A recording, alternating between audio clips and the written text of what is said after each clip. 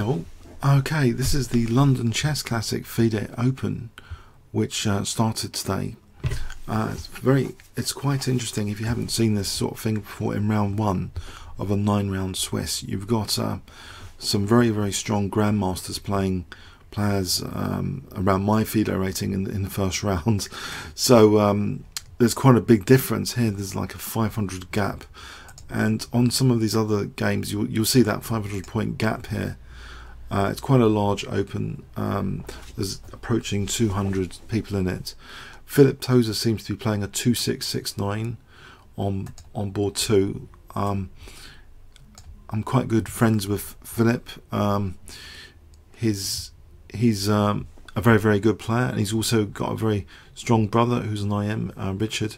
But uh, Philip's um, playing here with the black pieces, and seems to have a very good position. So let's have a look here. Um, try and let's get an analysis um, board up. Uh, so we'll just get an analysis board next to this. And uh, okay. So I think he's on board two of the FIDE Open, playing this, the, the second seed. So Grachev 2669. Um, so bishop c2, it looks as though white's going to play queen d3 just to create some threats or weaknesses basically to provoke black into playing g6 maybe. If there's a threat of bishop takes f6 and queen queen h7 mating soon. So okay, it's a it's a tricky position. The clocks are roughly balanced at the moment. Um, so I'm hoping the board previews are okay.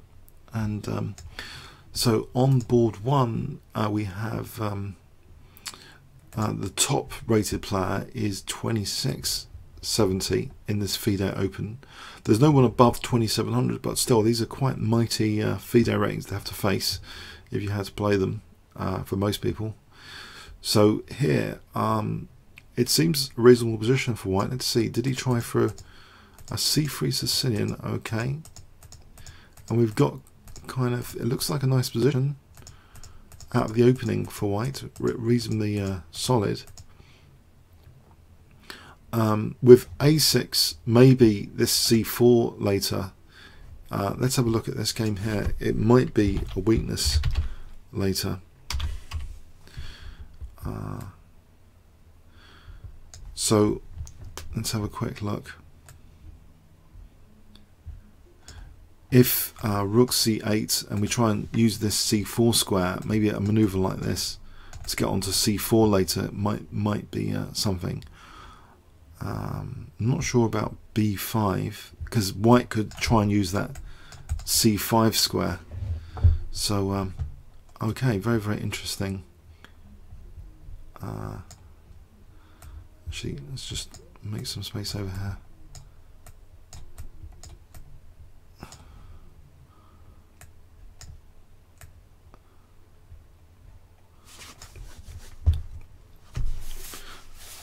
Um, so let's see on board three. Uh, if we go on to event highlights, board three, Sutovsky. I think he's, I, I think he's a book writer. Two six five seven. He's playing a two one three nine. Uh, let's just load the top five up here and focus on these top five boards. Gary 2656 playing against Quinn. I think I've played Quinn in one of my leagues, the Middlesex League. I think I, I managed to beat Quinn, I think, what was it, a draw last time I played him? Uh, I've had some tough battles, I think, with Quinn. Um, I've played before in. He's, he was like for playing for Wood Green. I've played him. I think last time I, I beat him actually, Madueke, uh, in club matches. So I, I, know some of these people playing these strong uh, GMs uh, in this in this round one. Uh, so let's have a look at this position. Uh, so actually that's kind of avoiding this bishop c4 is it is a popular move. Well, let's get that again. So we had a bishop c4 move for the second move, bit of a surprise weapon maybe from the GM to play this bishop c4 and d3. I guess it avoids things like the Marshall Gambit It's a solid position for white. a5, is he trying to just weaken these uh, light squares? He's back and play at a6. Okay, accepting the double pawns is, is a dynamic decision actually here to play knight d knight here just to accept the double pawns but it gives white a stronger bind over that d5 square we just copy this game here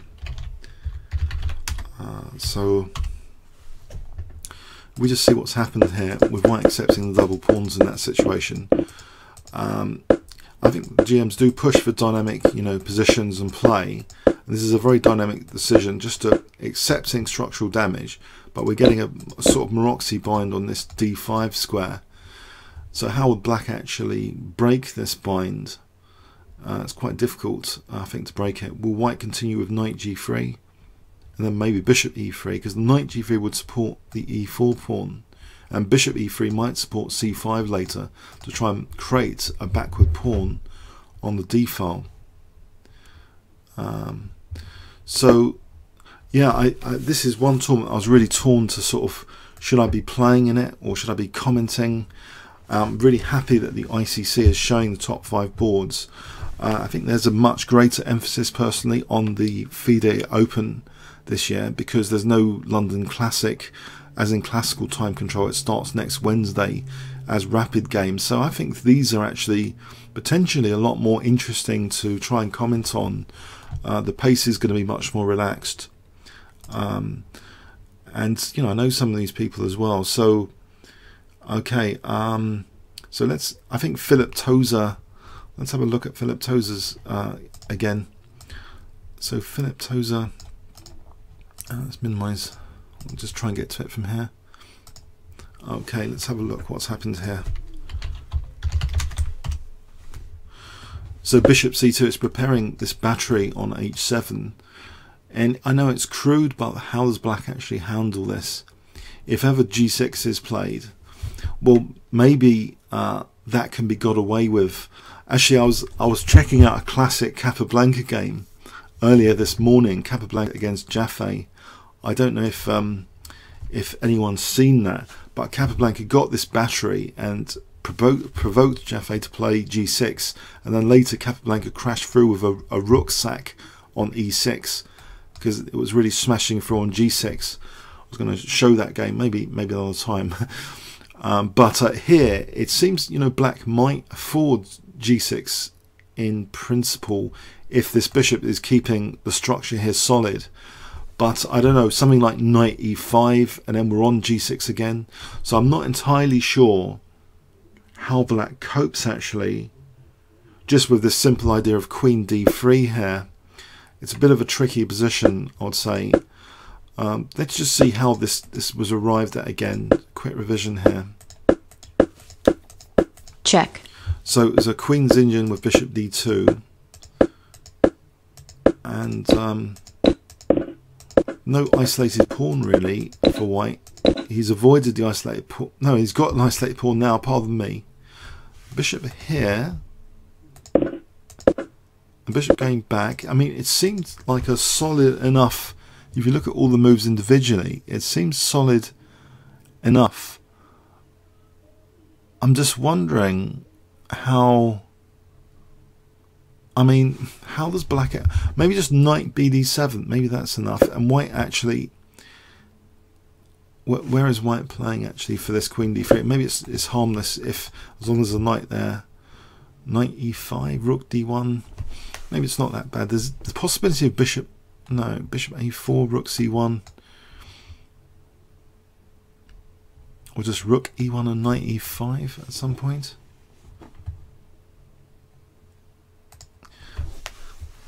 Okay, so let's see. Um, I don't know. I think white stands a little bit better here. He's using a lot of time, actually. If this is the clock... Oh, no, no, this is just... Uh, pardon me, 71 minutes left and 65 for Philip Tozer. So, um,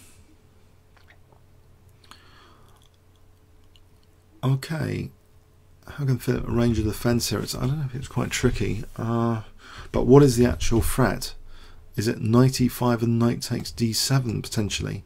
If if we get this battery here, It seems as though there isn't much pressure on d4, though the blockade looks okay. So let's let's see. Um, uh, Sutovsky game. What's going on here? So was this? There's a Grunfeld. Sort of mainline-ish. Bishop e3. Actually, this is a bit interesting. So f5, very aggressive f5. So and black's avoided the exchange of queens there. So what does black actually... It seems white here, superficially, is doing quite well. I can't see... I think an issue potentially with the white position, actually the queen's now protecting c5. So you might imagine knight e... Let's have a look at this, copy this position for a moment. You might imagine here that the bishop's also controlling this diagonal, that knight e5 might be useful at some point. I don't know, just to get rid of this defensive knight, would that be handy? For black to just to continue then with bishop d7 and just doubling on the f file. It's quite an unusual, I, am not entirely sure, quite an unusual pattern of play, I think, uh, from black. It's, it's an aggressive use of the Grunfeld to sort of get this f file pressure, but white has conceded that e5 square if we look at a possible exchange sack here, which is probably quite crazy to consider, I don't, I don't think this, this will just drive that back. It's, it's no big deal here, surely. I don't think that's a big deal. There's bishop h3.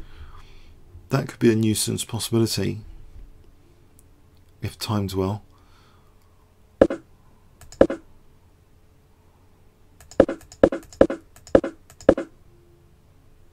Maybe just bishop e2 is is just to avoid that possibility.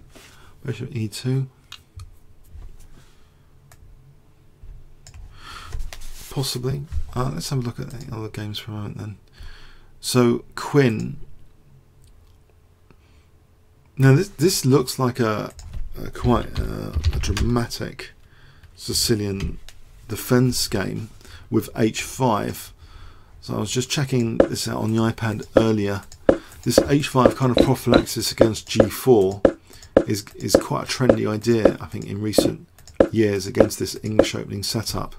So trying to discourage g4 from white. And it's been played a number of times. Um, queen f2, okay.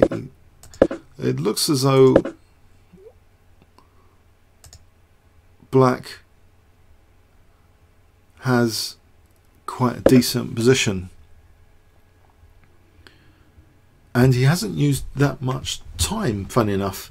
You'd expect the 2656 to be playing these moves more quickly than the, than Quinn, who's about 21, uh, you know, 30, 50. So it's interesting, but um, okay. So what is White potentially threatening a disruptive Bishop B6? So the queen's also placed for queen g3, looking at g7. That might be quite handy because it also pins the d6 pawn. That might actually facilitate something on c5, like bishop c5. If the queen was on g3, we'd have that pawn pinned to the queen. And there's no knight h5, of course, here with that, that pawn there. So this could actually be a potential double attack kind of threat, queen g3, looking at g7 and looking at bishop c5 here. I guess knight e5, maybe that's not such a big deal if ever that happens. But looking at g7, if I don't think black would dare castle uh, there because of bishop h6. So what does actually black do here? Let's let's give black a move like bishop b7. I mean to stop castling, to disrupt castling, bishop b6 or the queen can just be left on f2, so black can't castle because of bishop b6. But how would white actually progress here?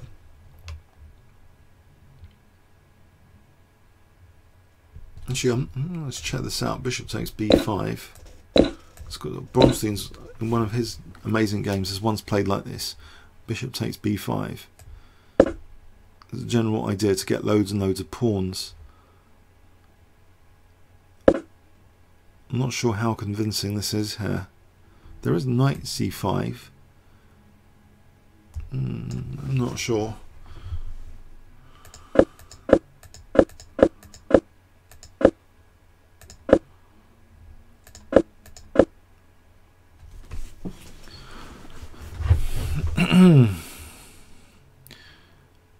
I, I feel I was just feeling quite concerned in this position, playing against someone over 2600. You you must wonder what sort of they're thinking about, what resources they're seeing all the time. Uh, I mean, there's there's actually lots of options for white here, um, and one would start questioning, I suppose, bishop b7 versus bishop d7, like which is potentially better I mean, castling with the pawn on h5 looks particularly um, appetizing.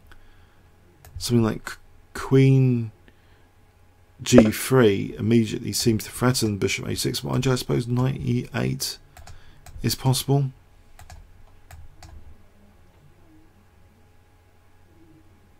queen looking over there, knight c5 or knight. Hmm. Yeah.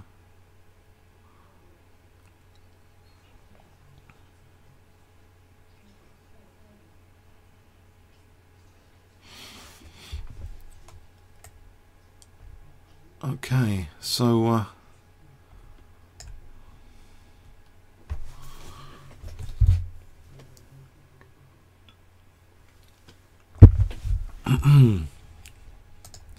Let's have a look board one. So board one of the FIDE Open, 2670, he's the top seed. So oh, I think he might be going in for this kind of plan to reroute the knight here. If we just check this out again. That c4 might be a slight weakness in white's position structurally. It's difficult to shake off that. It's a fundamental kind of feature of the position here, this c4.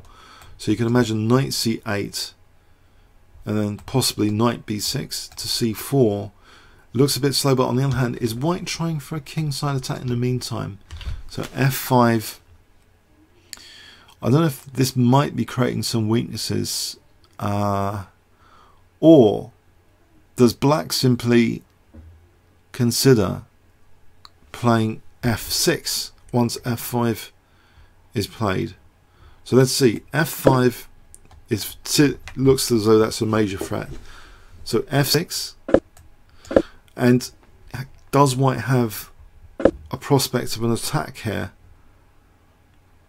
I mean, I guess queen h5 and knight g6 is what you'd, you'd be sort of tempted to do. Queen h5 for knight.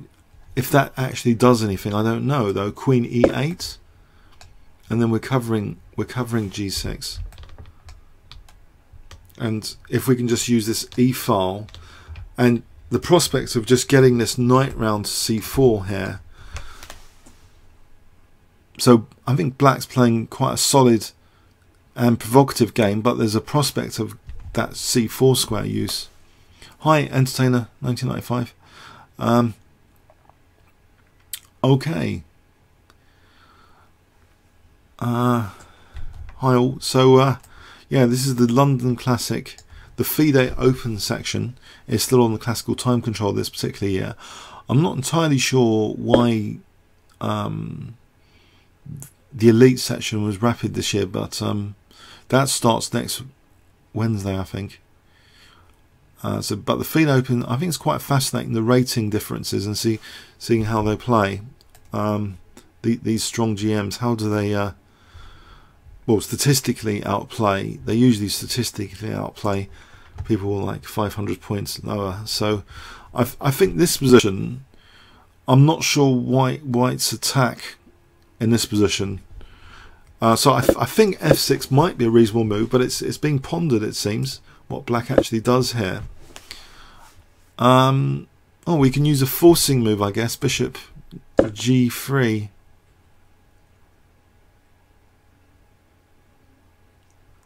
I don't know how annoying this is, if that's protected.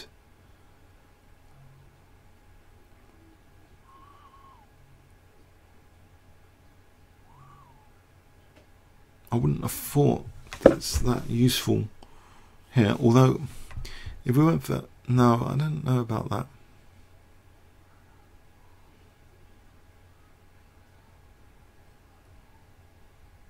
I, am not sure. I don't think there's anything majorly clever going on here. Knight g6. I, I wouldn't have thought that's like playing with fire here, with this kind of thing.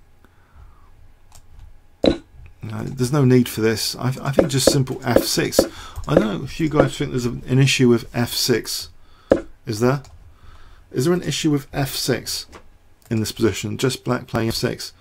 I don't know how quickly you play this it looks like the sort of routine thing you might want to do. It does mean that any time queen e8 is played, we, we are looking at a queen on h5 as well, if the queen ever wants to pop into uh, h5. But let's let's imagine queen h5 isn't played. It's white has weakened these dark squares a bit. And there's actually now bishop g3 potentially as a threat, to, and if the knight retreated, knight takes f5 so I think black's been a little bit provocative here for white, you know, saying to white, okay, come and get me, weaken some squares. You've already got a weakness here, but if you want to like create some more on the king side, then go ahead.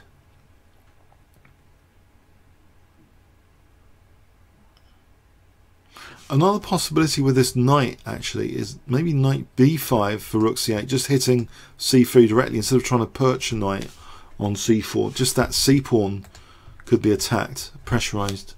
With rook c8 and knight b5, that might be quite annoying. I'm not sure I'm liking white's position that much. Um, I'm trying trying not to be biased here with the rating differences, but it looks objectively as though white's worse. Uh, now here, okay, this battery idea, let's examine this again. So this is on board two. This battery coming up looks a bit mean. And knight c6 instead of knight d7 is interesting, putting pressure on d4. Okay, very interesting decision there. So what was the idea? I think knight b4 was the idea. So if queen d3, black's got time for knight b4. So he doesn't ha he didn't have to support. I suppose rather passively you could say the knight on f6. So with knight b4, that's that's okay. That's solving that problem for a moment. So white just responded with knight e5.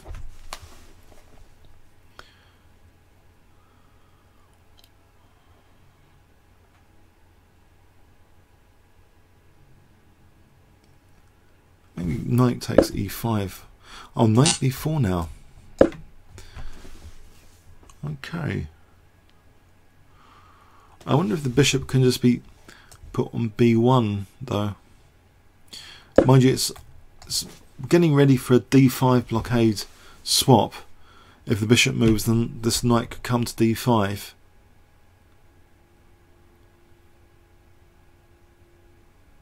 So let, us say uh, the bishop moved here. I don't know if there's time for this. Bishop b7. So if a3 knight d5, it looks like um, it's it's it's it's such a common conceptual position this this isolated queen's pawn type position but who's actually better in this scenario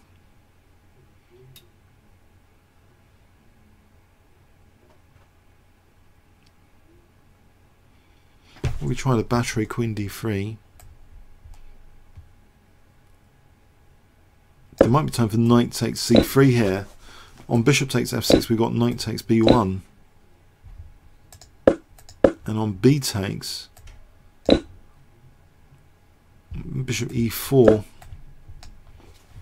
so I know this battery is that dangerous here going for queen d3 so this kind of scenario it's possible I think it looks possible plausible. Bishop b7 just to plot the knight on d5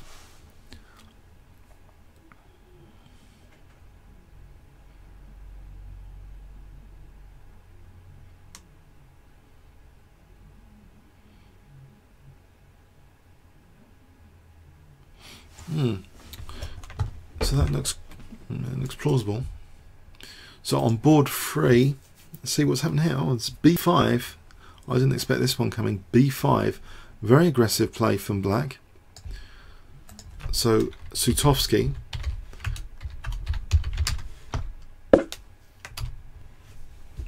Let's have a look at this. What's happened here?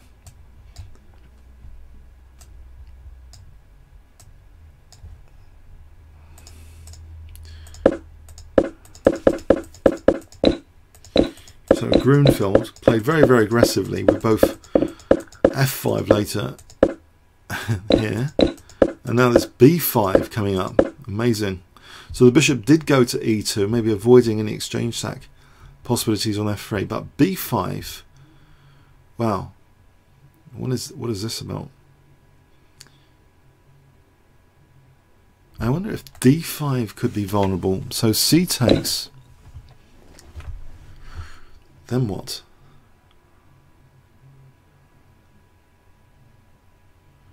Bishop b7, just hitting d5 with the rook and the bishop here.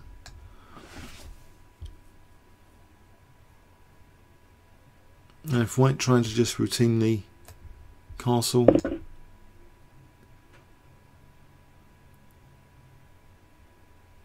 I wonder bishop takes d5, is that playable?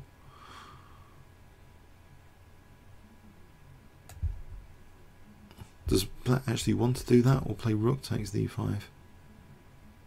But probably rook. I'm just wondering about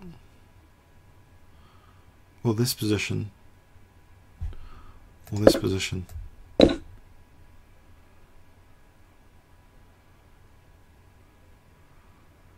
Wonder if it really matters. Say bishop c4 pins that bishop.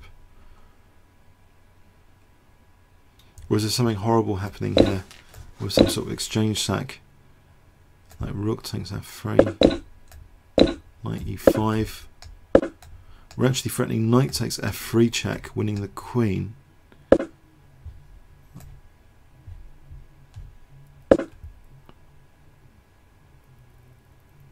Maybe that's bishop h6 there's always queen d5 here anyway I wouldn't have thought. It's quite aggressive idea, b5 though. I wonder what's what's going on here. Is it around d5? It must. It seems logically that it's undermining d5. So take. I think bishop e7 looks plausible. Oh, hang on, hang on. The rook takes d5, forcing move immediately on c1. No, no. The bishop's protecting c1. Forget, scrap that. There's also bishop c4 anyway. So scrap that. It has to be surely bishop b7 or knight. Maybe a knight move.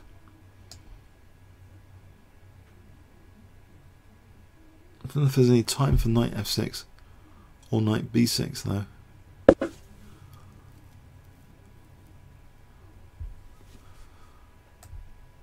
Bishop b7? I don't know. What do you guys think? This position. What's, what's black up to here?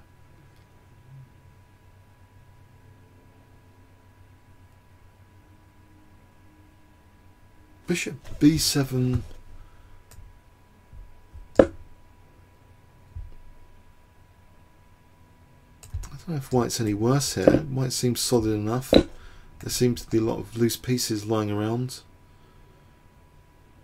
In fact, c5 seems to be a problem. Just in theory anyway.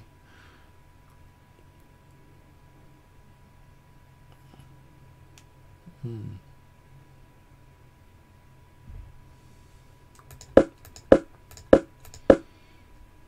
So B5.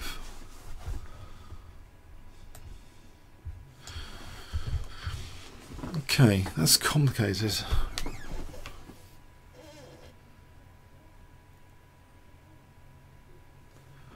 What is the queen actually doing on a3? I mean, it's putting pressure on c1. It's looking across.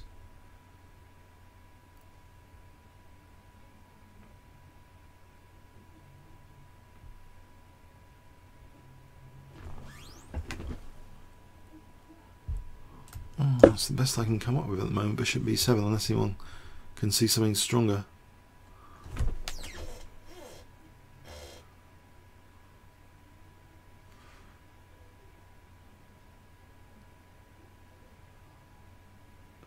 I don't know why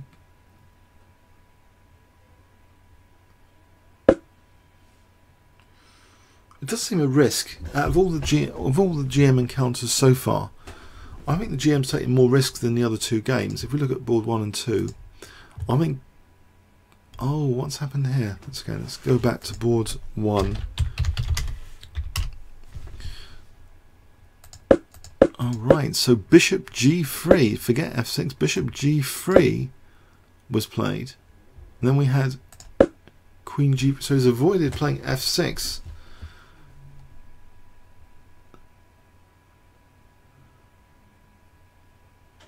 Wow. That's interesting.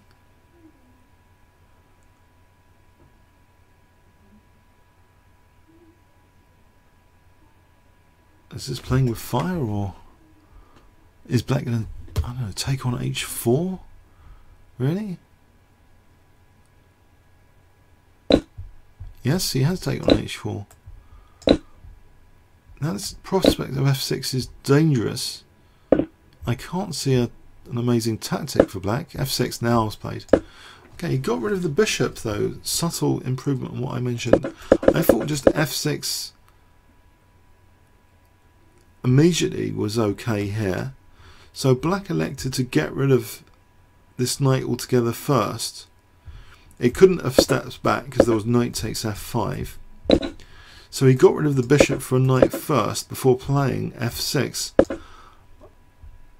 maybe that is an important difference. One would assume a 2670 GM thinks that's an important difference anyway to, to get this position and then play f6. So the, the knights, these two pieces are going to be better than these two, maybe he's saying. He wants some simplification. I guess f5 is a continuous target now with say queen d7 we can look at f5 and tie the rook down. And this knight can come here and start tying pieces down to c3 so both of these knights can be actually very very annoying here. Knight takes f5 Gress knight 87 I don't think knight h5 was a problem. No sorry that no it's not a problem here because we've got queen takes d8 Sorry, yeah. No, he played f6. But um, I don't think knight takes f5 is a threat at the moment. I think it's just these knights are going to tie down white's pieces to c3 and f5 respectively. This knight coming to b5. This knight just staying put there. And queen d7. And then possibly a rook coming to c8. And Maybe a rook coming to e8 later just automatically threatens thing like knight takes f5 if, if white's got stuff on the e file. Okay, so knight a3. That stops knight b5. Knight seems a bit not ideal on a3. So what about just rook ac8? That will prevent c4 for a moment as well. This bishop seems to be a kind of bad bishop at the moment. It's got no targets, no easy targets. These pawns on light squares away from this bishop. Yeah, yeah, this, this knight maneuver, either here or here to c4. Yeah, Gress yeah. Game frame, hi there, hi there. So, um, I don't know if White's been a little bit outplayed. I think this bishop might be a miserable creature soon with these pawns all on dark squares and nothing much on dark squares to attack later. Depends how black's knights get entrenched here. In fact, yeah, Gratitude Knight 87 mentioned to d6. That's a better rook because it hits also simultaneously f5 and that c4 square. So putting pressure on f5 is actually a very simple plan, which coming to think about it is more concrete than just trying to perch a knight on c4. Trying to just win that f5 pawn would be horrible. A horrible thing to do. I don't know if white ends up playing g4 and creates even more weaknesses around his king.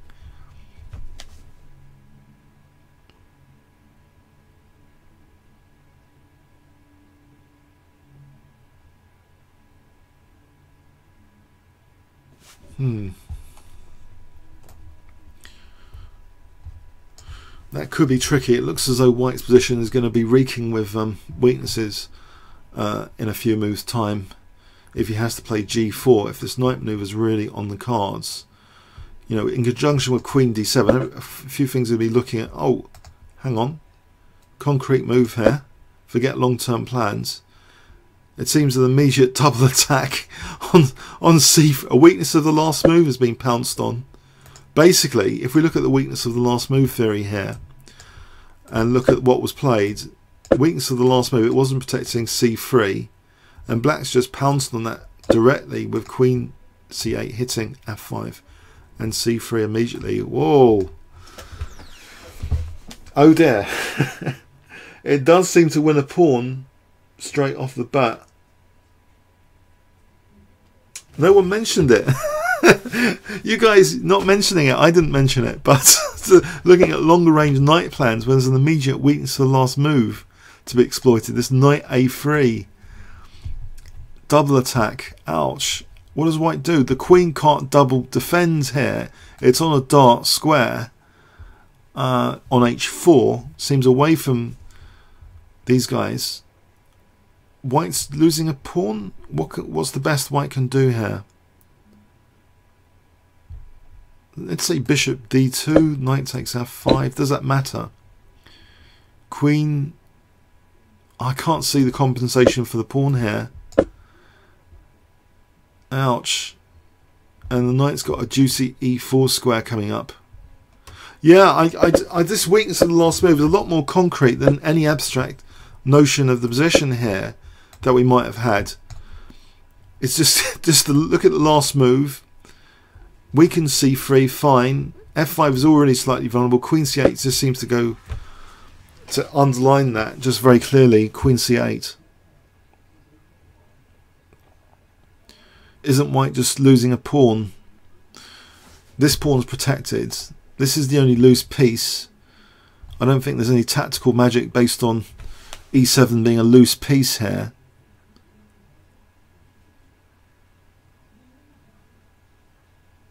We can try. No, hang on, hang on. I'm not sure I entirely believe it after Queen F4 though. For example, Queen takes C3. We've got a rook infiltration like this to get to C7. This might be very, very dangerous. So have a look at this position. How dangerous is this? Or is there just knight c6, knight a c6? And we're on d4 here we're protecting e7 this knight's not amazing and there's also queen b2 as well. Could be a nuisance.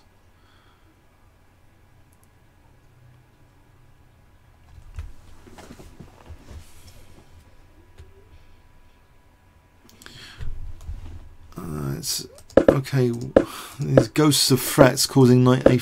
What, what White had to move his knight. If I suppose if he moved to d2, there's still the same thing. Queen c8.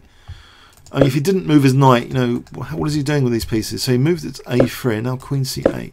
So is White getting blasted off the board all of a sudden? We can just try and make it into a pawn sack, but it's not. It's not an amazingly convincing gambit.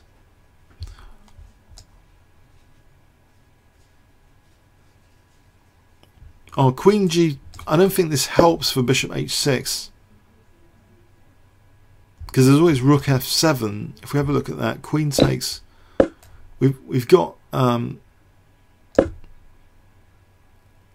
I think at minimum we've got rook f7 in this position. That f6 does facilitate rook f7.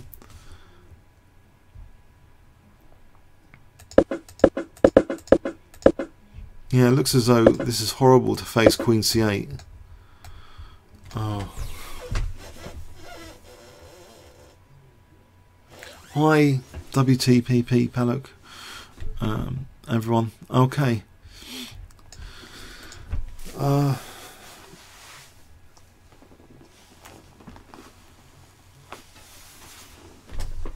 I don't know. I think um, by the way, if you do like this sort of live commentary, this is from a FIDE Open. So I think this is actually a unique experience as far as um, streaming because usually we're seeing GM versus GM. So in this round one, we've got a massive rating difference to witness here. So how, how weaker players are outplayed by these mighty like uh, 2600 GMs. So they're not ordinary GMs, they're very, very strong GMs. A lot of GMs, you know, rated below 2500. These are the top seeded GMs in the FIDE Open. Okay, he's, he's made a pawn sack out of um, bishop d2. So queen c8, bishop d2. Does this actually... I'm not sure that's sufficient, actually. That's quite clever. Because we've got queen g4. Queen, queen g4? Or not? Knight e7?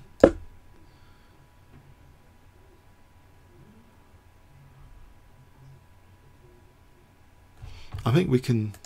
Can we not take this pawn?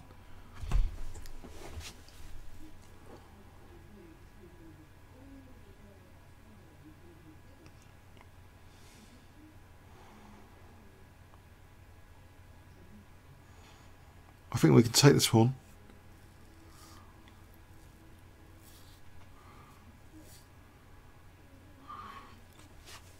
No, no, they wouldn't get GM norms if they won. But I think if you beat a GM, it's like forever after you can say that you beat a GM. It would be an amazing achievement.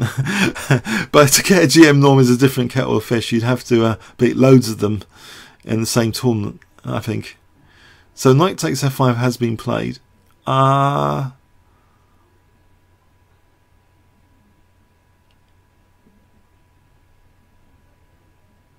And there's queen. I don't think queen h5. Looks at d5. Maybe just g6. I don't think knight g3 here because queen takes d5 is check. Check. But maybe just g6.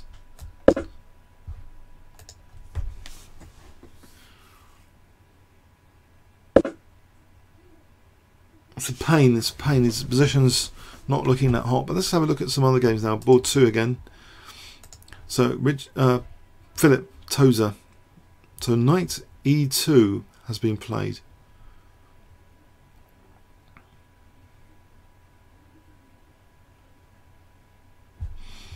Oh, that's quite interesting actually as well as a concept. Uh, if we look at this knight e2, possible he's ruled out any knight b4s so maybe the idea of knight e2, where it holds up f4 as well. So queen d3. I was just wondering though about um, later knight. I think this is too slow. There's always the f4 square to use, and that actually hits g2. I don't think the knight's heading like that with queen d3 because there's knight f4 and we're on g2.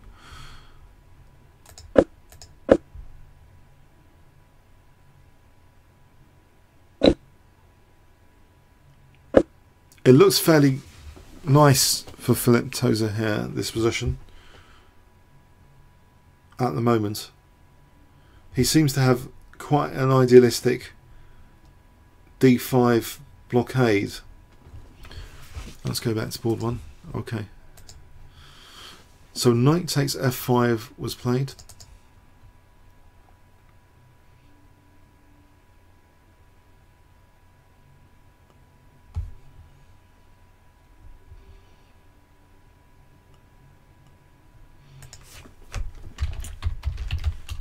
Well, I don't see a big deal about playing. Um, I don't see a big deal about playing g6 actually. I know we're weakening some dark squares, but the knight is quite nice, surely, on f5 here. I mean, you might think there's a tactical problem, but you know, the queen's supporting at the moment. I mean, we could also just play, just in case, king h8 why isn't knight sort of doing a nice job on f5? I mean, I guess, you know, we could consider retreating the knight. Um, but why? It's quite nice on f5. Unless we're running into g4 later. So we move the queen. Okay, let's say this.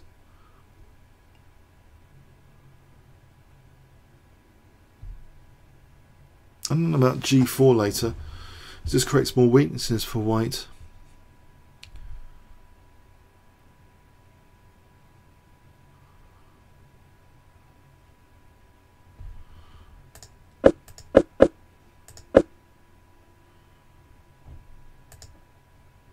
Yeah, have a look at board three for a moment. Uh,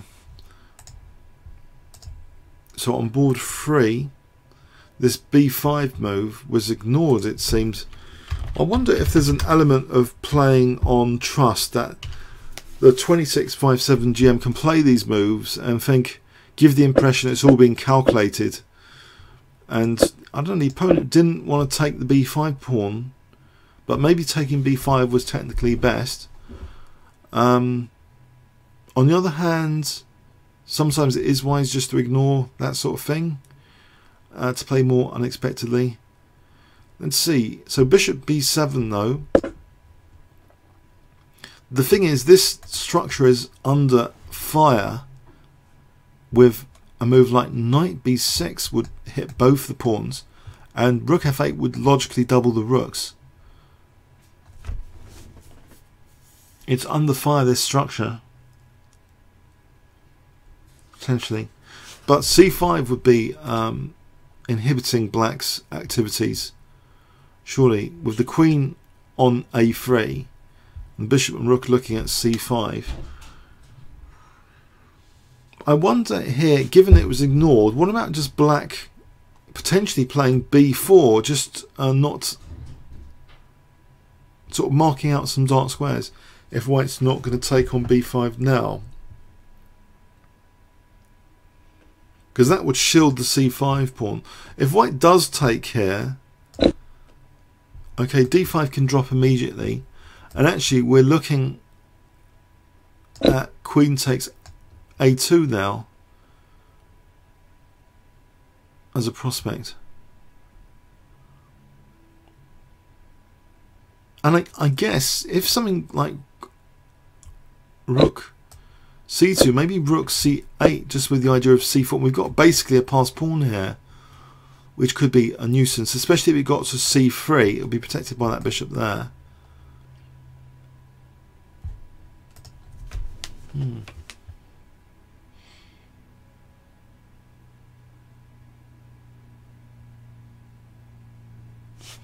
Yeah. Okay. Let's, let's go back to board one. Go back to board one. So White's still thinking here. Um, yeah. How can he get get enough compensation for the pawn? Or has he blown his big opportunity to crush a 2600 GM? Uh, if he gets an inferior position here now, pawn down, it's less likely. Hmm.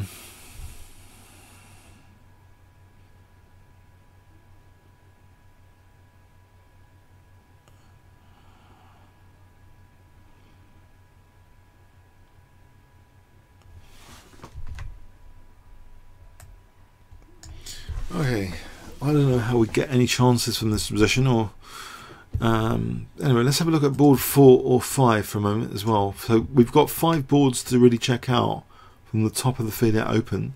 Oh, this is looking very, very interesting. What's happened here in this position from earlier. So we had this position from earlier.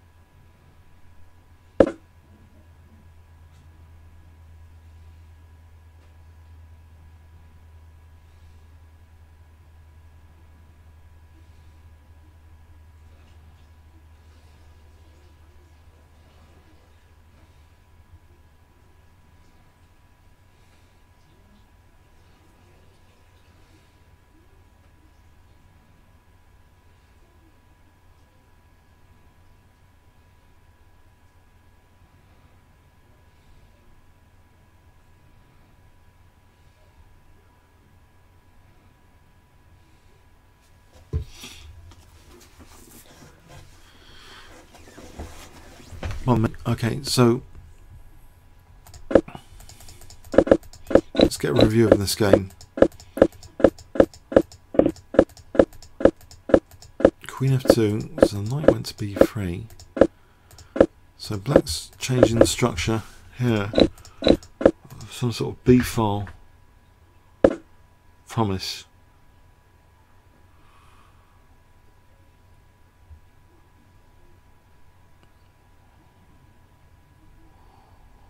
We play this, this knight takes c4, protecting b2. We're on d6.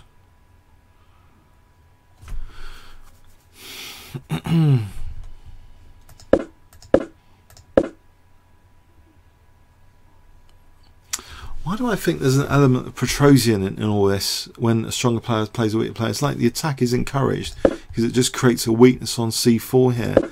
Was the attack already too optimistic to play knight c4 or something? What, what does black do about that c4? d5?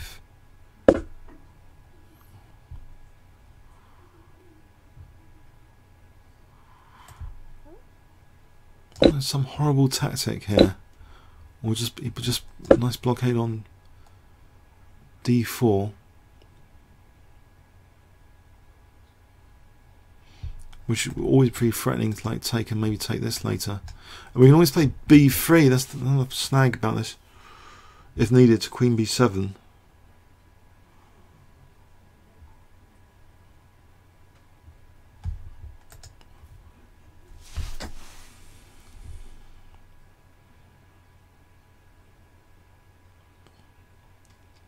I think black really needs to get this other rook in the game though, and as soon as he castles then there's trouble probably on the king side. Actually there's always bishop e5 as well, skewing queen and rook. So I don't know, knight, yeah, knight d2. I don't know if it's some, some sort of theoretical dream to use this b file.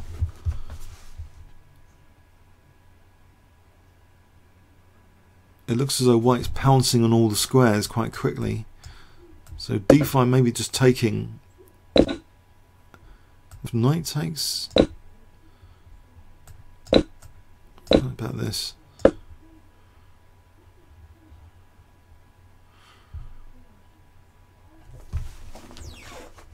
a threat bishop e5, potentially looking at g7.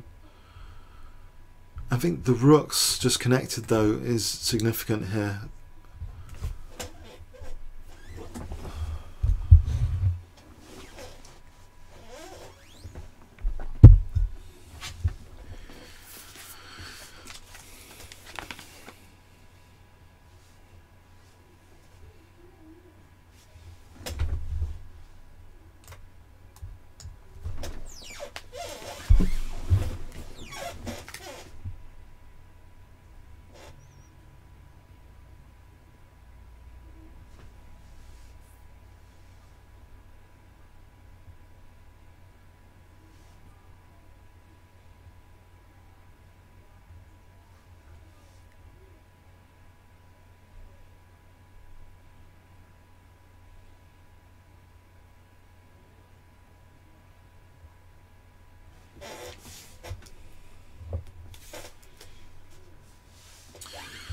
Oh, this is a right pain for black. I don't think there's a promised dream of an attack. I'm being negative, I guess. Um, but where is it? Uh, can black make something out of this? Well, bishop f5.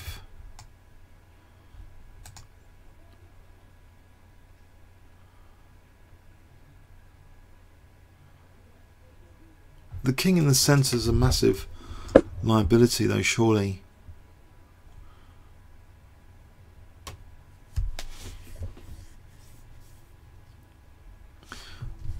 Do you want to go back to game one for a moment? Whoops. We'll go back to game one. Oh, what's happened in game one? Some stuff has happened in game one.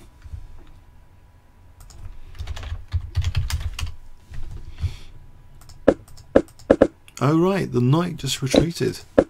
So queen f4, no g6. The knight just simply retreated.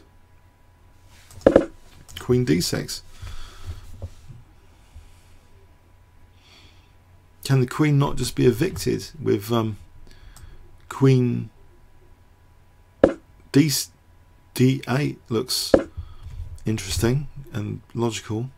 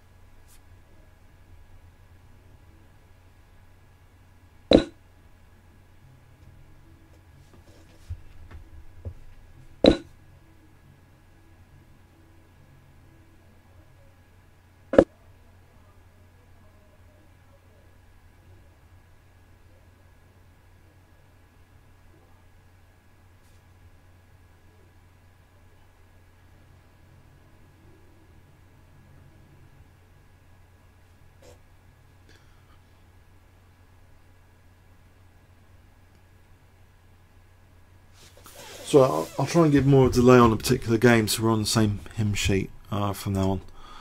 Okay, so we'll stay on, on this one for a few minutes, uh, for at least five minutes say, before shifting to another board.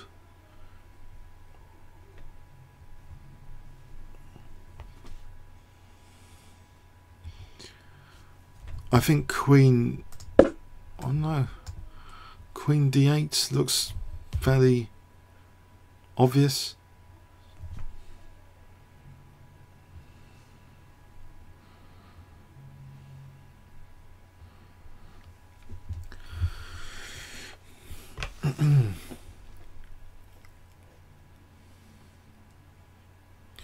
oh, bishop f4. I don't know if bishop. I Scott Keller. Bishop f4. Okay, so queen d8, bishop f4. If we just take, and then we can just move the rook here. Is it a big deal? Black's pawn up. Um, black's got knight g6 maybe later. Or knight c8 to come to c well to come to c4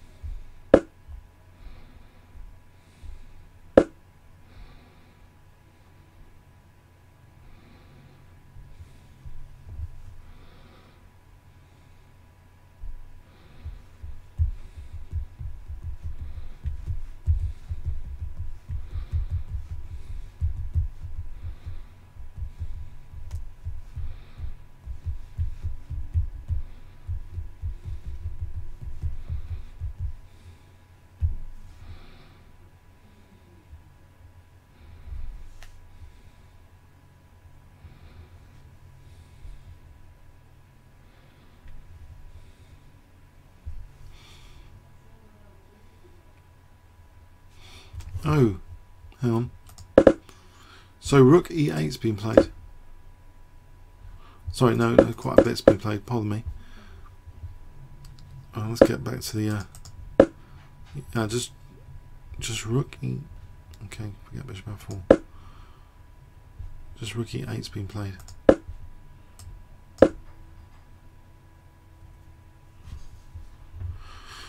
So I was just I was just checking something. Uh, I'm, I'm with it now. So rook e8. Um, okay, why not queen d8? I don't I don't think it was a big deal queen d8, but uh, I'm not really convinced it was a big deal. Uh,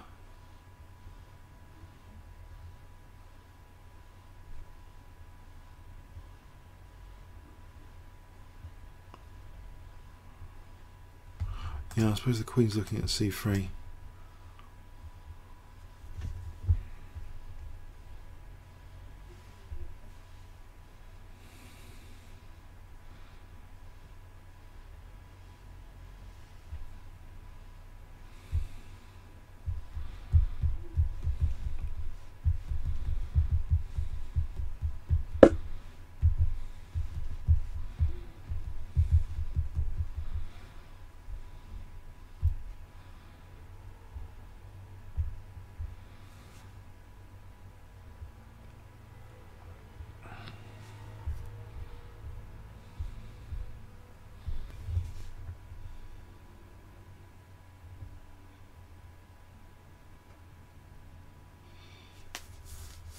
So the GMs doesn't really care about getting the queens off. Uh, no, let's let's so, say the rookie a rookie one. Oh, rookie the other one's being played. Rook one.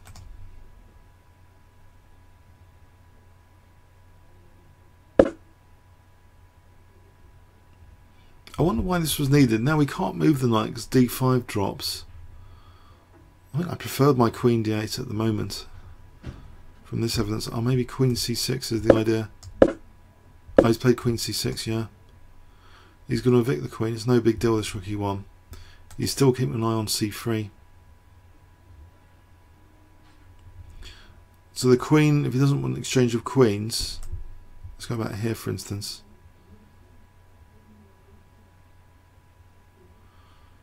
F4 or G3. Do we go back to G3? Keep an idea, an eye, a view on um, that. Also, rook f6. It looks at g7. Uh, I think he has. So he has played queen c6, queen g3.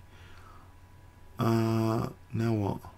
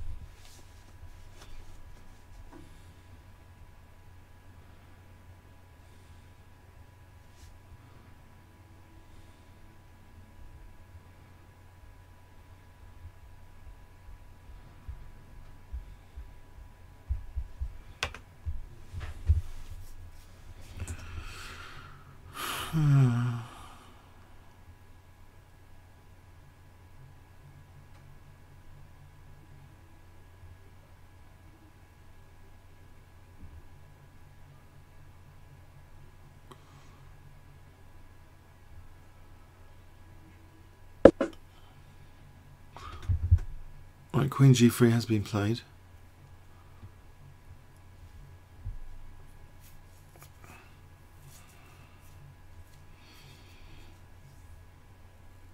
Maybe knight, uh, knight here. It's a tempo gain. Once it reaches h4, sitting queen. Mind you, when it goes to d6, there's rook takes f6.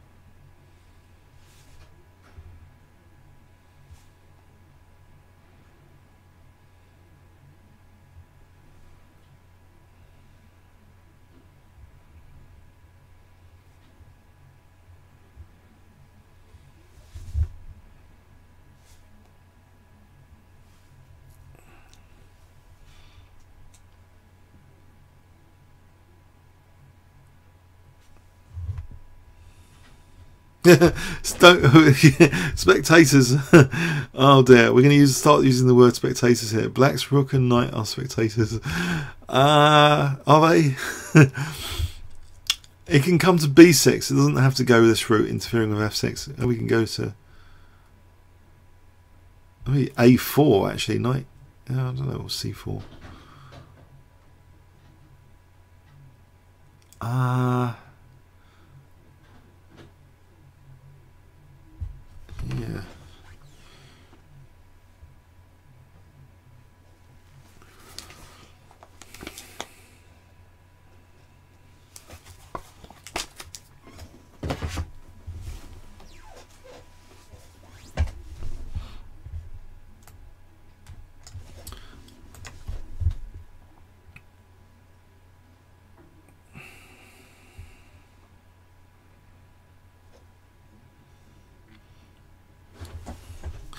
By the way, um, on a general other topic, just for a moment, have any of you ever bought chess ebooks? Uh, out of interest, how is the ebook chess market doing? Do you think? I'm thinking of doing an ebook at some point.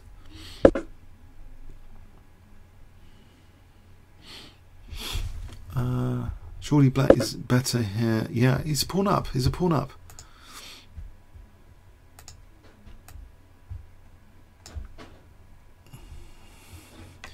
It would be a miracle statistically if if if the player with white even drew today, especially uh, being a pawn down here against this um, one of the top you know rated GMs in the FIDE Open. It's funny, you know, a lot of these GMs we haven't actually haven't actually gone through any of their notable games ever on the channel, but there's a lot of you know GMs above 2600 that must have played some pretty amazing games at some point. Uh, maybe maybe tending to overdose on Kasparov, etc.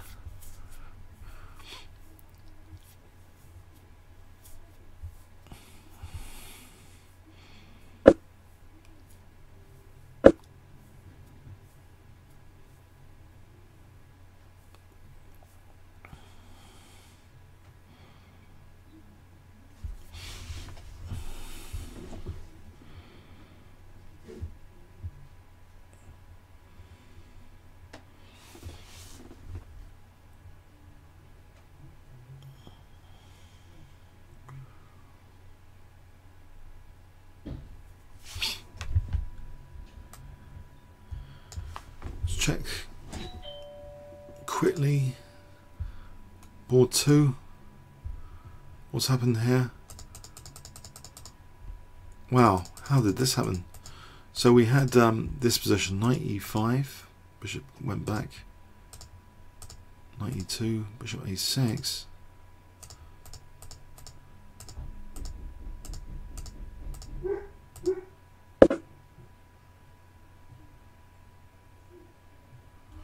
Back in a moment.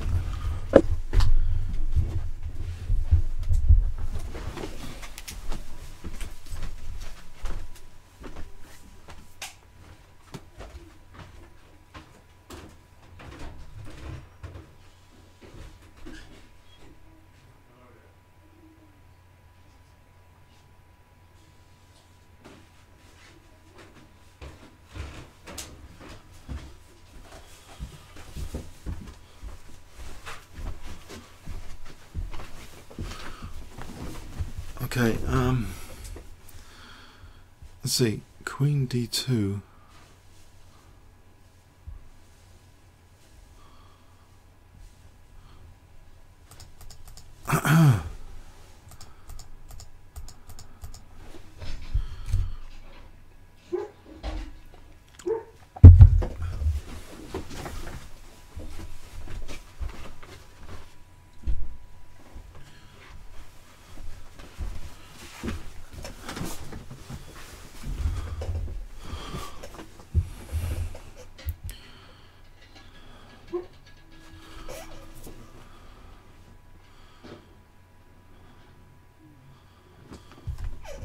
Let's have a quick copy of this game.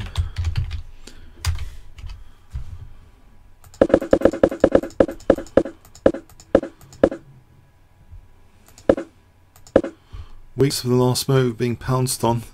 It neglects c6, knight c6. But uh, I would have thought the blockade Check. here isn't too bad for the moment.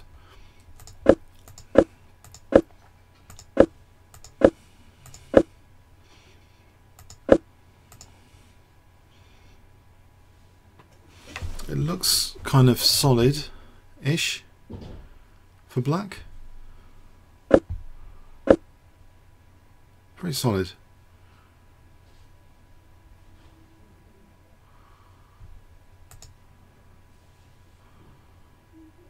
But he's lost a lot of time on the clock. Philip Tozer. So he's lost a lot of time on the clock getting this position. He's down to apparently 18 minutes against 50.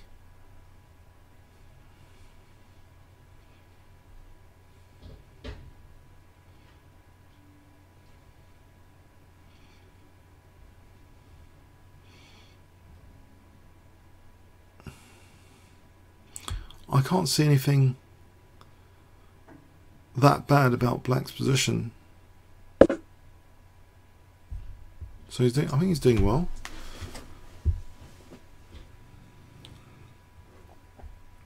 Let's imagine, I suppose, knight f4, test knight f4. Not sure what it does actually. Hmm, there's bishop a2. I think black looks good here. It's just this clock situation I think I'll be a bit concerned about. What do you guys think about black's position? It looks very neat and tidy and um, nice blockade on d5.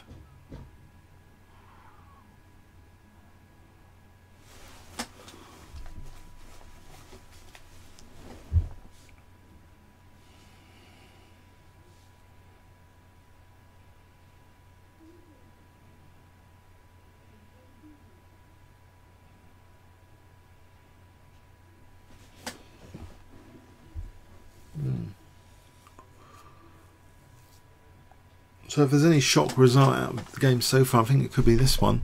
No, but there was another one which looked a bit precarious um, as well for the GM actually at some point. Uh, oh, H3's been played.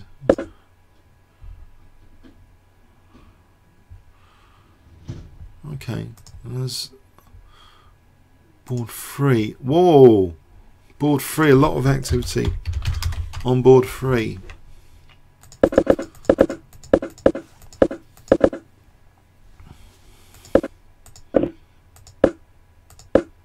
Knight g5 looks as though bishop g4 or knight e6 is interesting.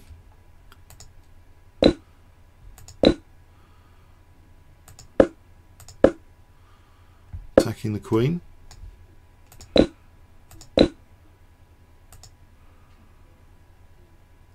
Oh, bishop takes d4. Hmm. Well, bishop takes d5. Actually, I've got a new mouse actually today, just arrived. I could plug it in if this continues. I'm going to get it actually, just in case my new mouse has arrived. One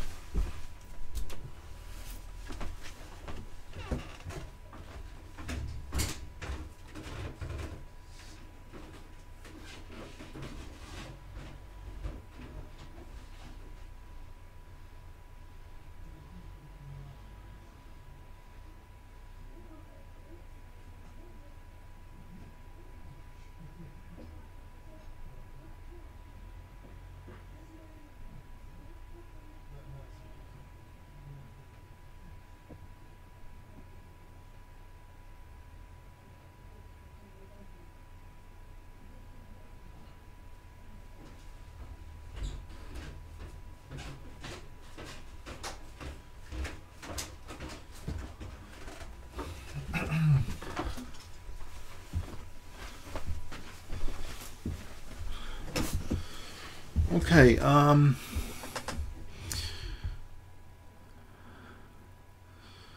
Oh, there, there is bishop. No, there isn't.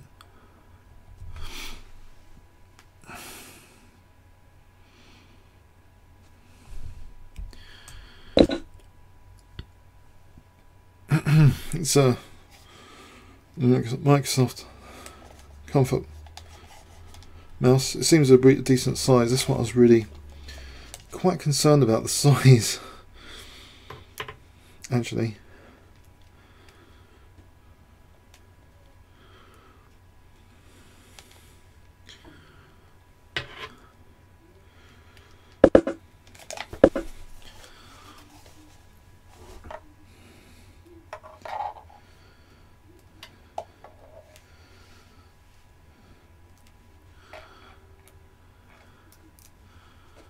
I'm, wait, wait, does White want to take on c5? I'm pretty sure. That looks at e7 as well.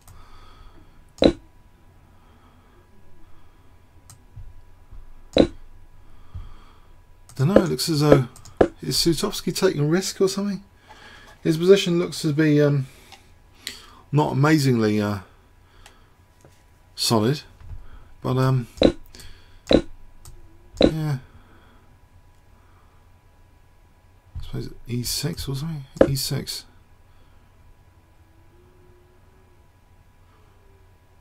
Or, no, just just takes on A2. What about just taking on A2?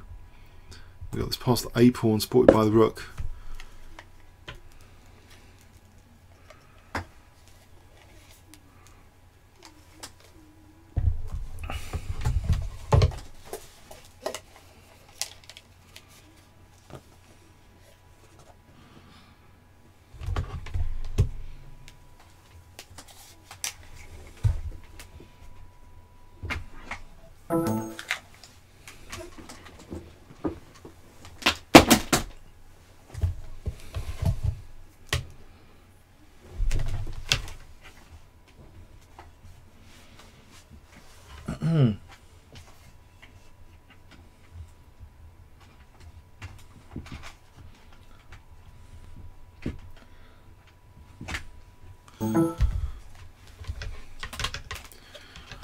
How's the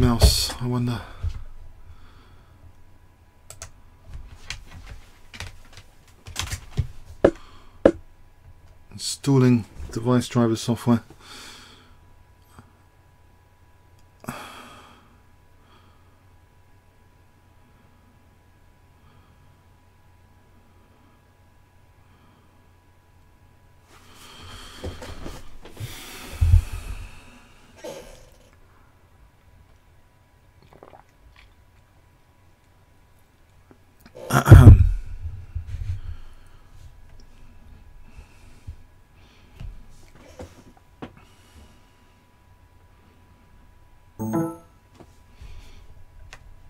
Mouse is in real time. seems quite comfortable. Microsoft mouse. Uh, Alright, hang on, let's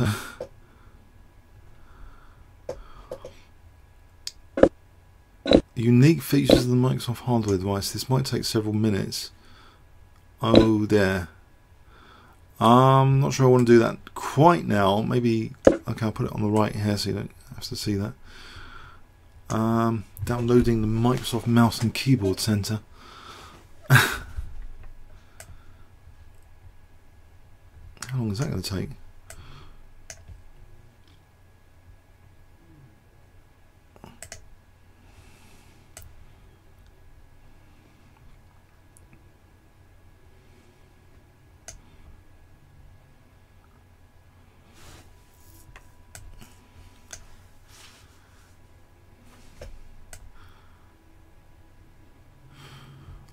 Need this keyboard center business. I think the mouse is okay as it is.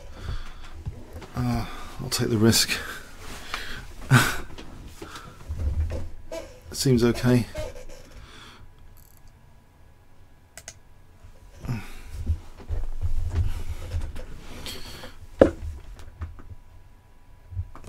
reasonable size. Happy with it so far in the first few seconds.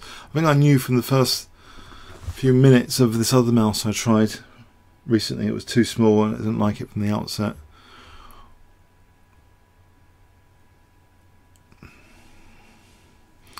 So let's see. Uh, this one's good from the outset. So let's see. Board one. Aha. Let's go back to board one.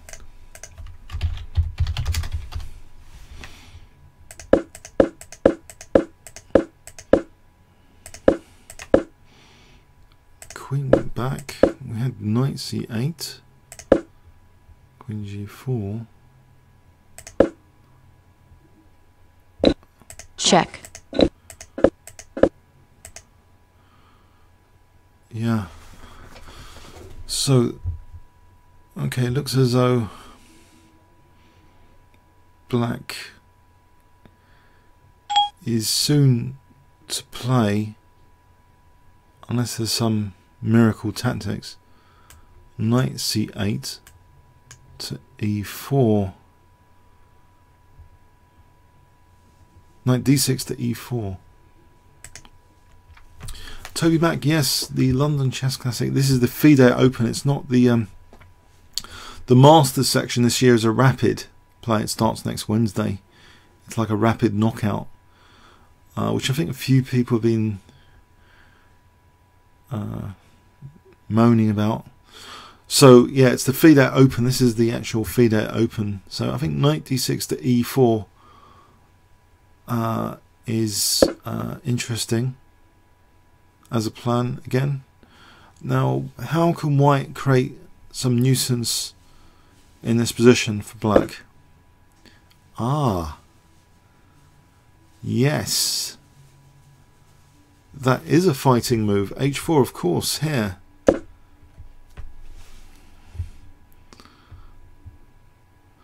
Possibly knight d6 anyway.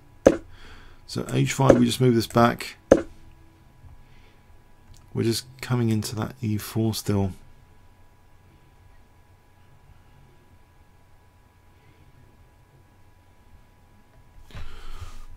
We can put a pawn on h6, that could be handy, I suppose. g6.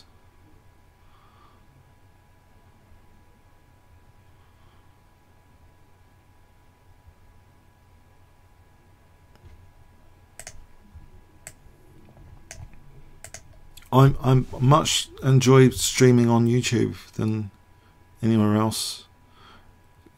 Gets to be a video after. This is my favourite streaming platform for me personally.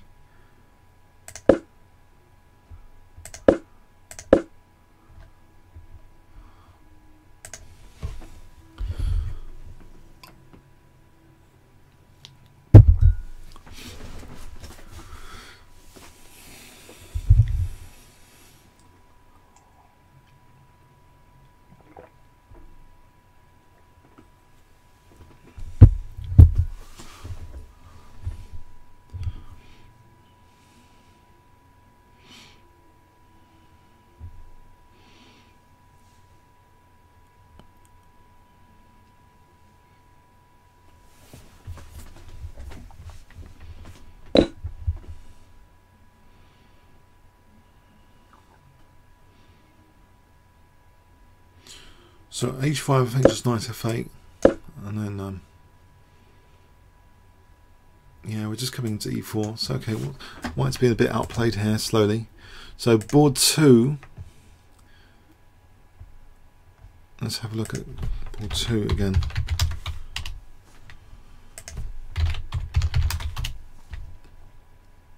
It's down to nearly like 11 minutes soon.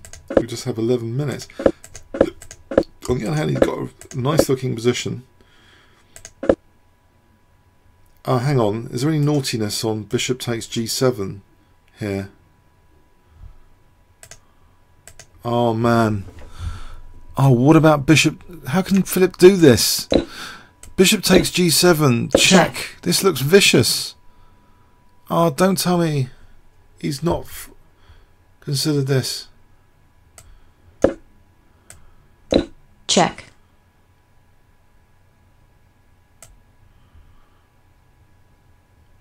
Oh, this looks too dangerous.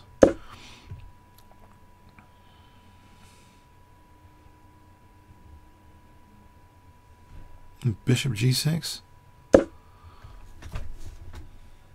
Which now threatens rook takes e6 for knight g7.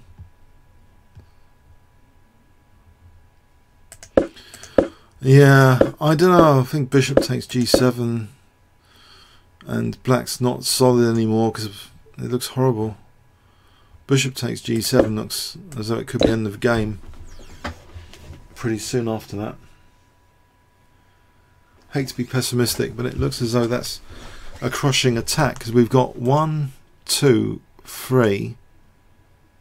I mean, we've got loads of pieces on on the Check. rampage here. Check, Two pawns immediately for the bishop, and after something like this, okay, actually, okay, king e7 has to be proven.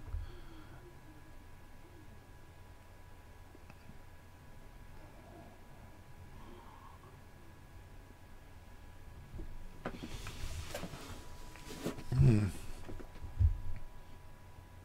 Mm, Queen g5. check,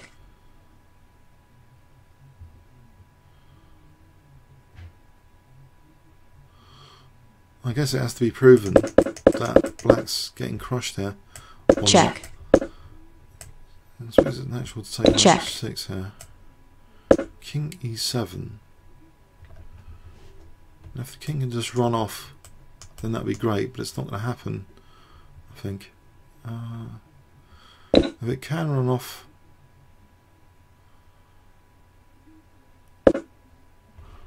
Maybe just white just ignores that. Yeah, maybe it's unsound. Bishop takes, king takes.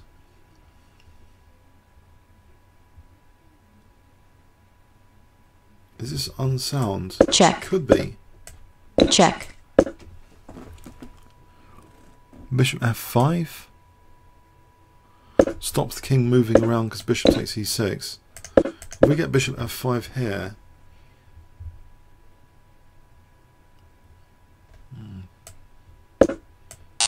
this position, check, it's queen g3, check, holding the king there.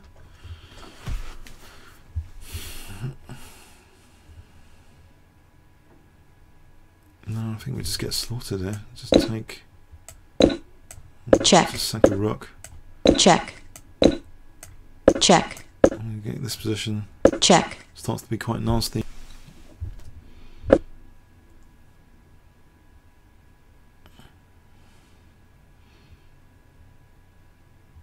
Alright.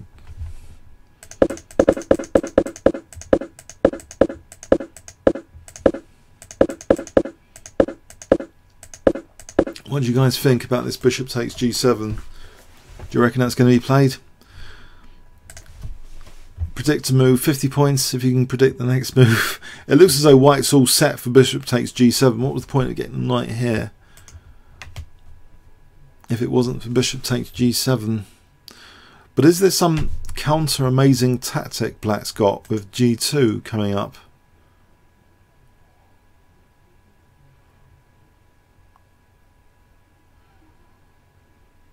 Wouldn't have thought there is. Uh, bishop takes g7.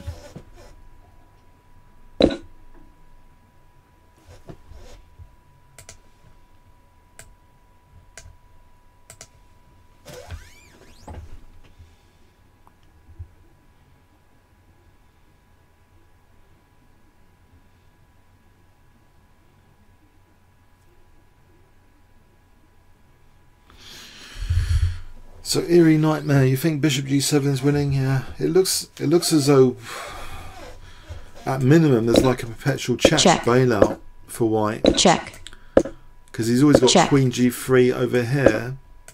If he wanted. Unless we got e5. No, because check, always play like this. check, Material back.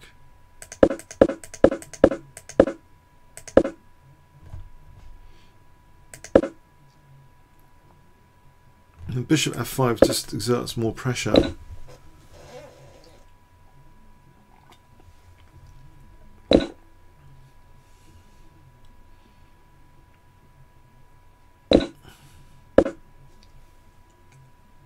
Hmm. This does seem a critical position to analyse uh, for us as well. Just to see what, what's going on here. Um, if rook g8, does that promise anything? We're on g2 actually, threatening things on g2 here. Ah, uh, potentially. Hmm, is that so clear? Is it? Bishop takes here. Now we wouldn't want to take like here, I think. No, I don't know. I don't know what's going on there actually. No, I think that that's interesting if black can use that G file because the queen is on. He hasn't done that. So he's avoided all this, yeah. Rook G8 would have been pretty good there maybe. So let's see what's happened. So knight G3, knight D7, just knight E4 after all that. Yeah, what, why get involved if it's on sound potentially? Uh, so he just played knight e4. Instead, he's just looking at that d6 simple chess rather than going into the complications.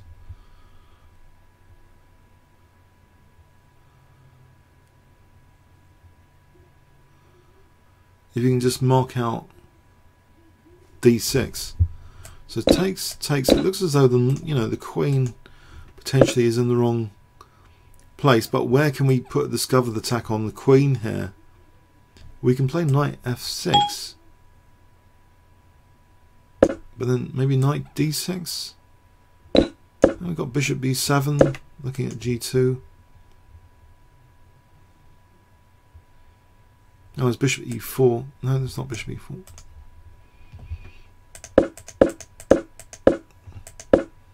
Oh, knight e4. Okay.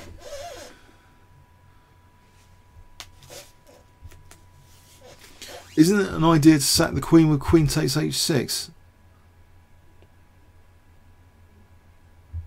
I wouldn't say in this position just yet. Uh, but I guess it could become an idea under under the right conditions.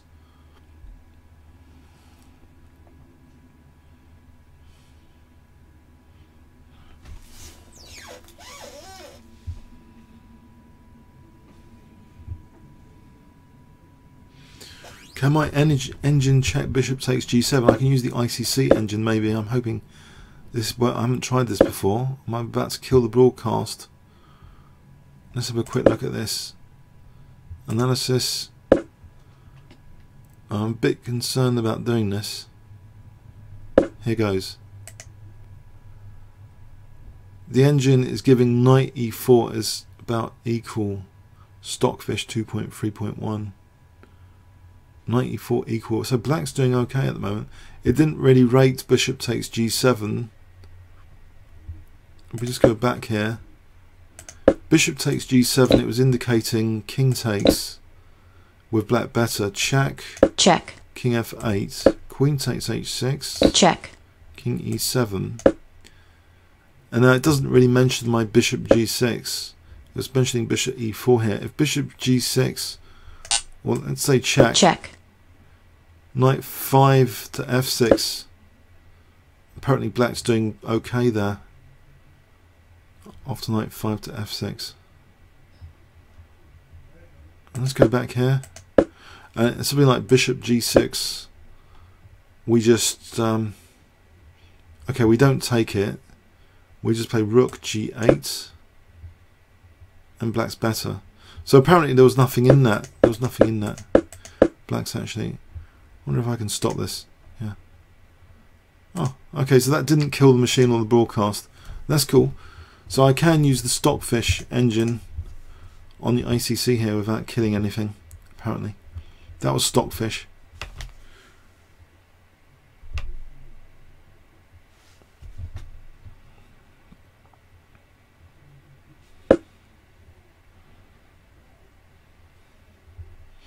Oh, so let's go back to the game thing. So it was um, knight e4.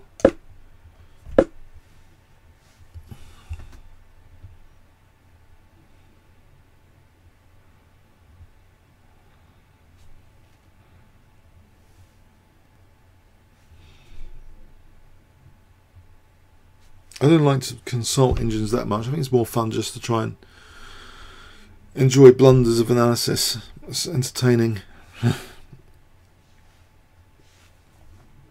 Sometimes. But that was a critical moment, so I suppose it was more justified there. But so knight e4, apparently, anyway, it's about equal this position from a theoretical point of view. But from a practical point of view, um, Philip's um, a bit short on time here.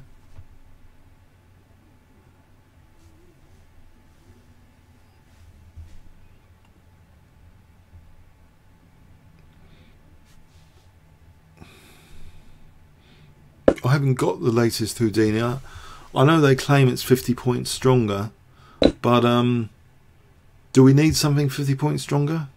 Weren't they already strong enough for analysis of games? Uh, I'm just wondering.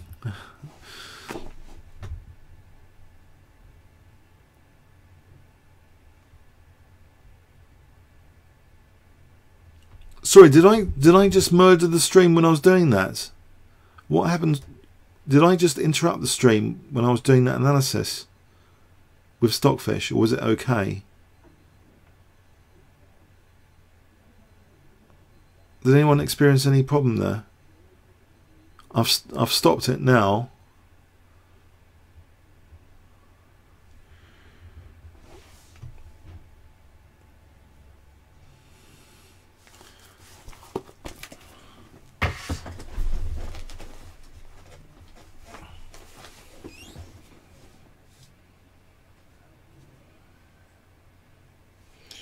I might try and contact someone about this uh, stream if one moment.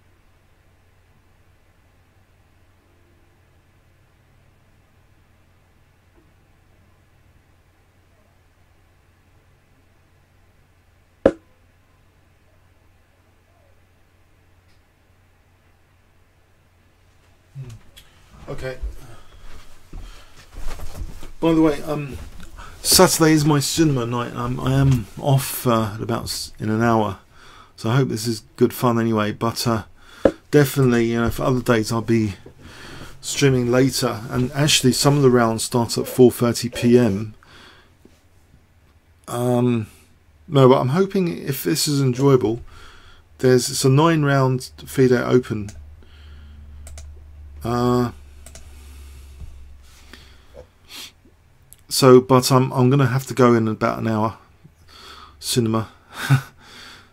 so, uh, okay. Uh, but um, I think this is interesting to kind of speculate what happens in these games. Uh,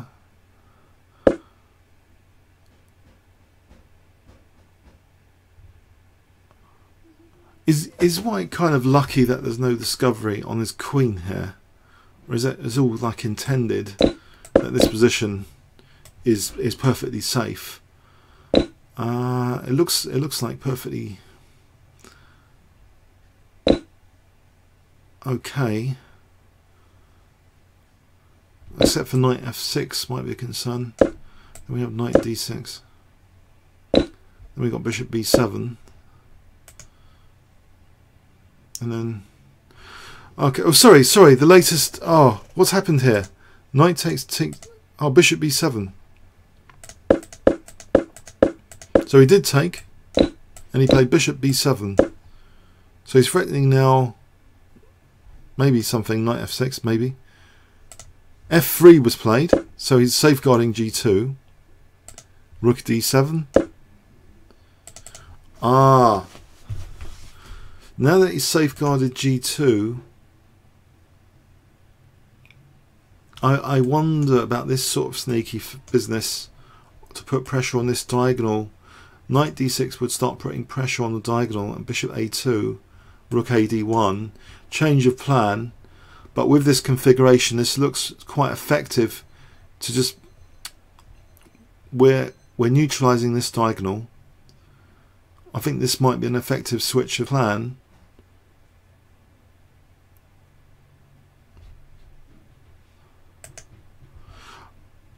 so on on the top right board to the left to the left the slider on the top right board to the left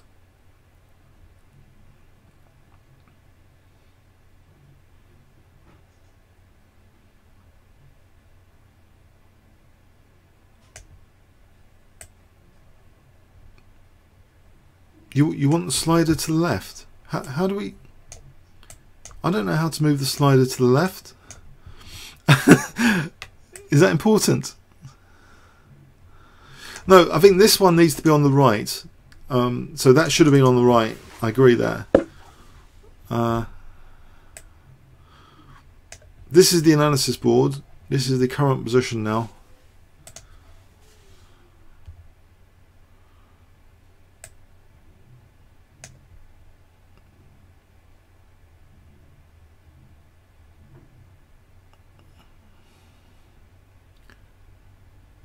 The the other board.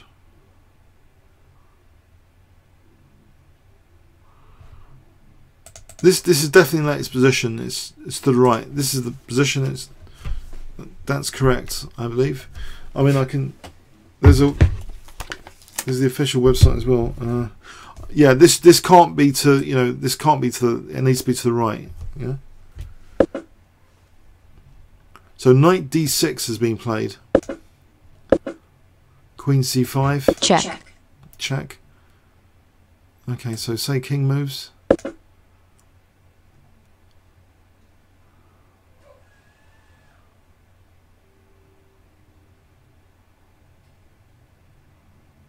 Hang on, we've got a problem here with queen d3.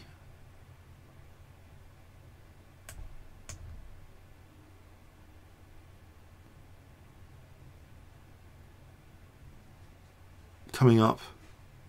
I think any g6 there might be knight takes f7. Winning e6 later.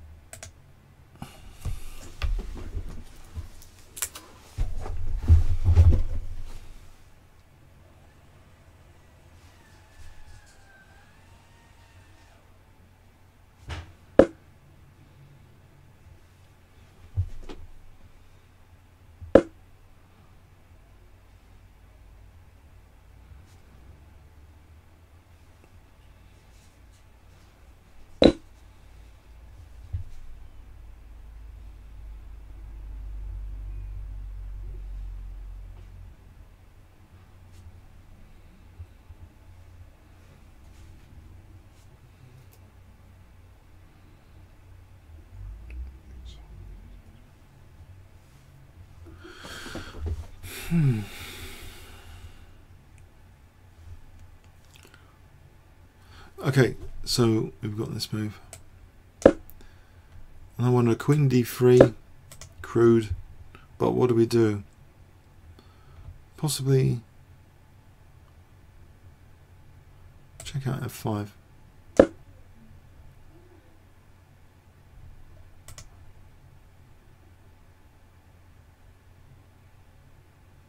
Hmm. I can't. Is f5 a problem? Oh, knight takes f5.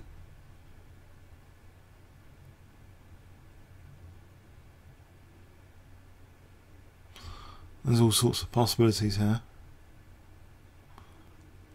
Knight, knight f4. Okay, if we just take this for a moment. Um, check, get loads and loads of pawns. check, But white's king could be this. Oh, this one as well. That's, white doesn't have to go in for that anyway. So f5, what would we do if f queen d3 is that, that big deal? And f5.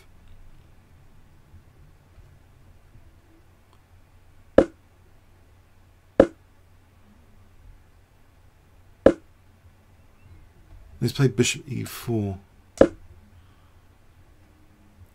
Oh. In fact, you could argue this is black's best piece just to get rid of. Um, so I suspect he just wants to leave black with a bad bishop endgame of some sort. If he can just take on d5 and then actually seize the c file, actually can quickly seize that c file with tempo.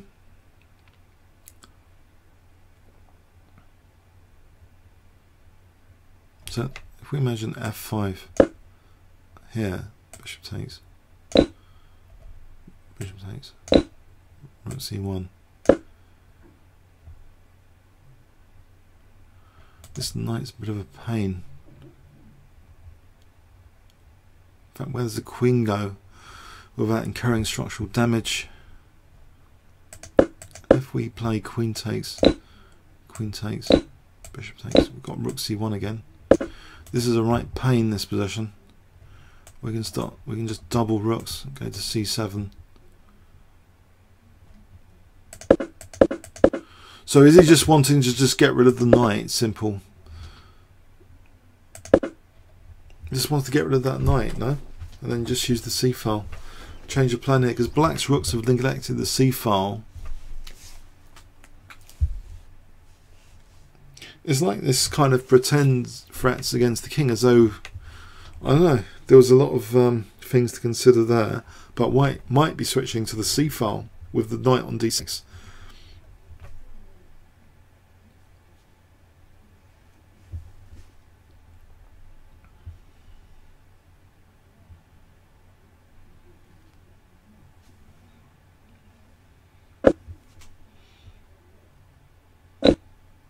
Oh no. An exchange sack. Ah, this is very committal, isn't it? If this was played out of um, concern about that.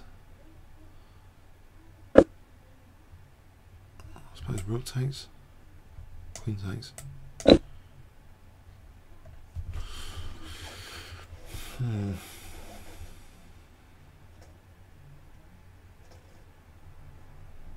Maybe just bishop takes again. I just go here.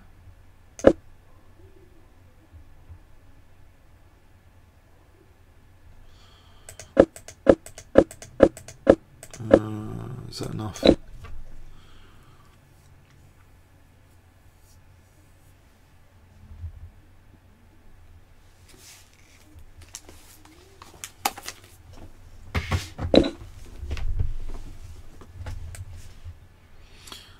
Look at um, game one again for a moment.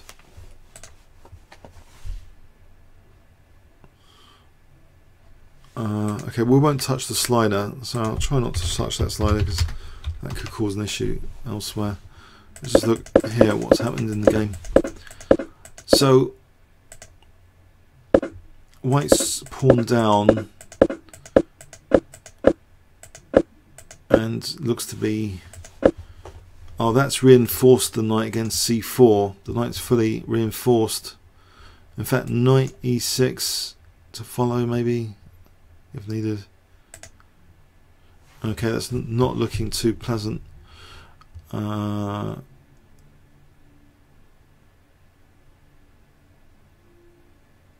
in fact hmm. let's play rook f1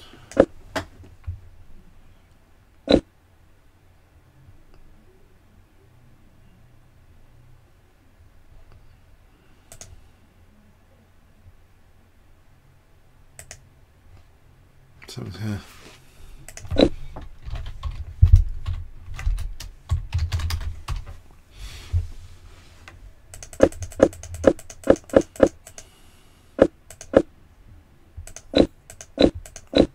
My double clicking issue seems to have disappeared with new mouse. That's good news. For some reason, White's made this whole thing a pawn sacrifice it was a 2 pawn, that could be very significant later.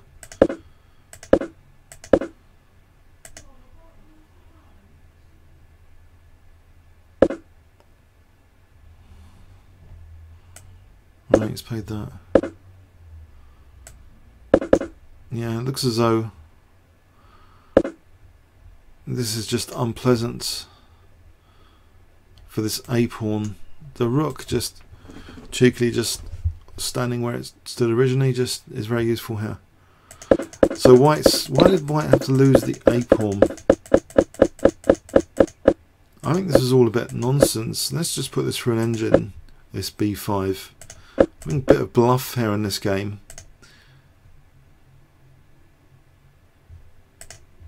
The engine reckons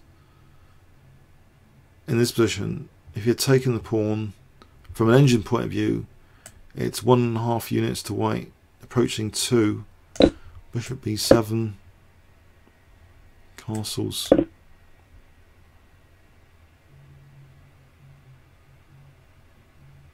Engines really like this for white.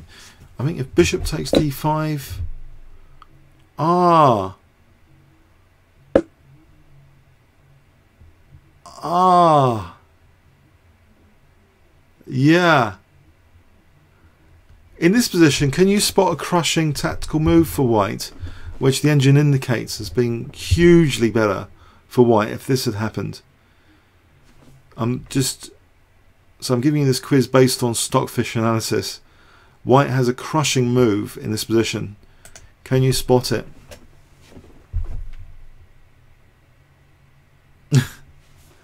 this could have been a GM scalp in theory something to bear in mind, maybe. I'll, I'll stop the analysis before it kills my machine. But there's a there's a move which could have been played. Oh, ah, might have given something away there. Uh,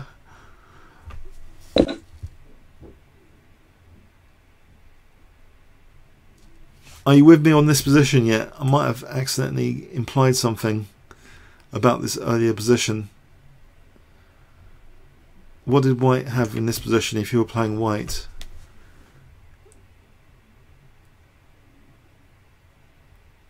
Oh, you saw the engine line.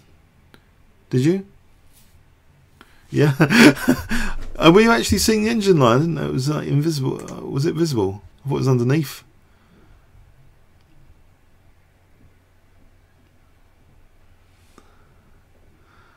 Just checking, is that really visible? If I go into the analysis tab. Oh, Muppets. Is it? It's displayed at the top. So if I click start, it's displayed at the top. Oh, ah, it's displayed at the top. I see, yes. Very clever.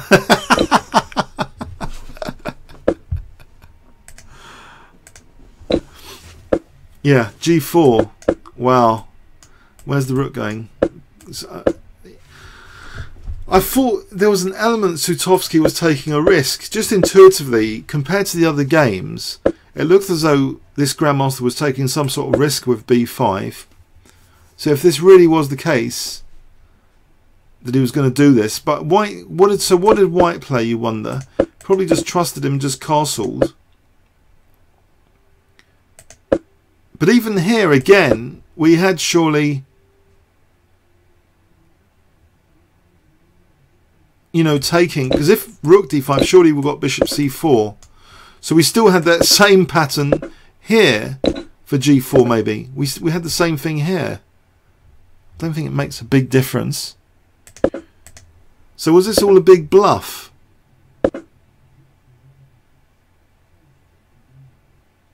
So anyway, white just ignored the c takes b5 possibility. I mean, I can check just to make a sanity check here with the analysis, right? Again, c takes b5. Now also it's mentioning rook b1 now. Rook b1, as you can see here, rook b1. So c takes b5 here. King h8. Still better for white. Okay, we'll stop that. So let's let's go on from. Um, so in the game, we saw knight g5, and Black's probably doing, I suspect Black's doing quite well now, undermining the structure. Yeah, Black's now equal. And actually, after this, in fact, now Black's massively better after this, black actually takes advantage. The knight's protecting the queen. Just winning that pawn and winning the a2 pawn. And of course, black's better now. But it seems a little bit of a bluff. There's, there's a fine line there. The whole thing being a bluff. Isn't that cruel? So he's used his 2600 rating to create a bluff. The whole thing. Tactically, if you can see through it and see these amazing resources. Uh, of course, engines beat GM, so I guess that's no surprise that an engine would find that um, quite quickly. C takes B5 and G4. So we're just in this game now with white just losing that A pawn. And it just seems as though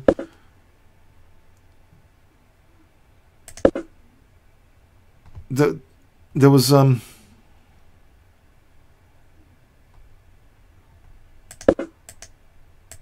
this problem now, isn't it? In fact, if we have bishop b3, you can imagine bishop b3, then that will guide that pawn down the board along with this one. That's a bit that's a bit sad, um, I suppose you could say.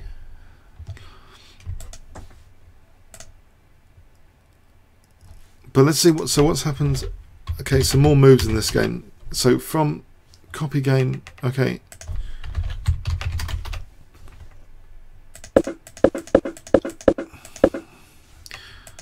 So actually bishop d5 taking e4 attacking the rook and winning another pawn, is it? So he's attacking the rook. He's got the option of winning another pawn which would restrict the king. It's not a major pawn in its own right, but it restricts the king. So if we had a king restricted, we could potentially just bring our king up. Um, but you can imagine also the pawn coming here and the bishop there is unfortunate. Oh.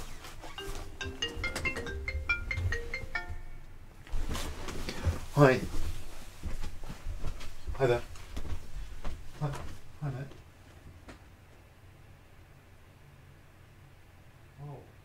Okay. Uh,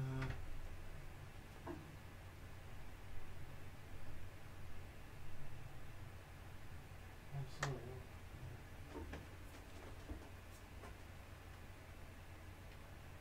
Hmm.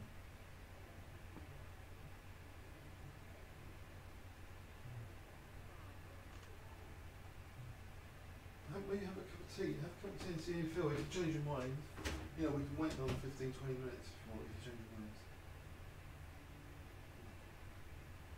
Yeah. That sometimes fucks up the, yeah. What do they lose then? What do they lose? They lose.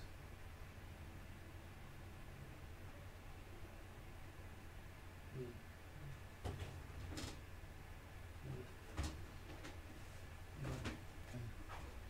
Hmm. Alright. Right. Chisel.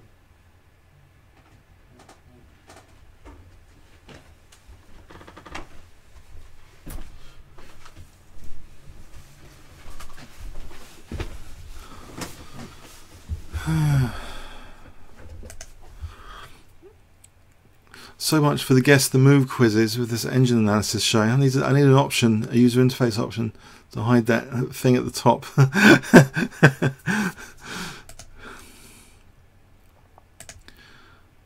oh man, what's going on here?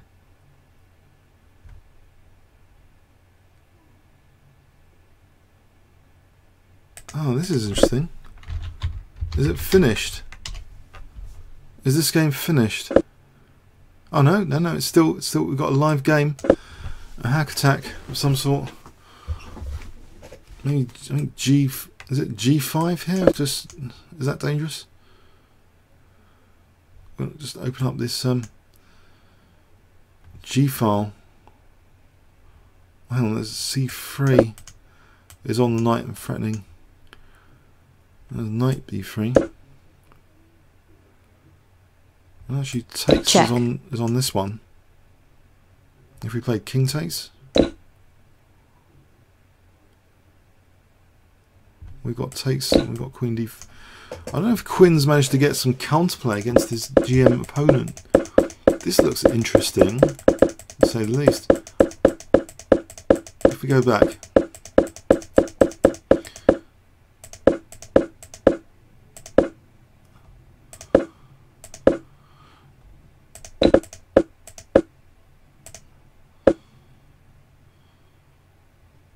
queen takes c3 threat in there, no knight takes c4.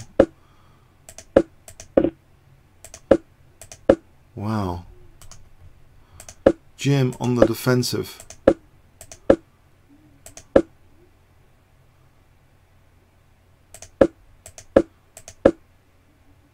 Yeah.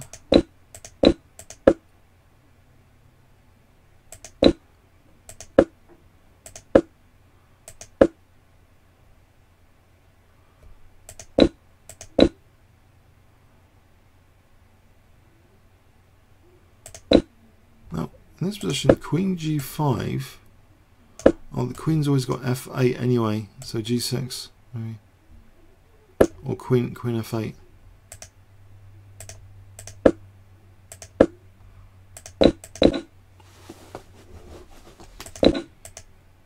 check, Well, there, there was the threat of um, queen h8. check,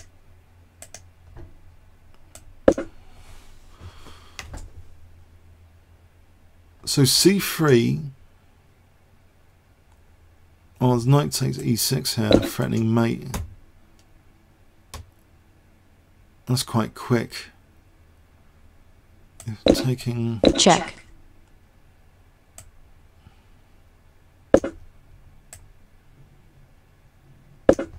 There's rook f8. Oh, there's rook f7. Check. This just gets dangerous Check. again. Hmm.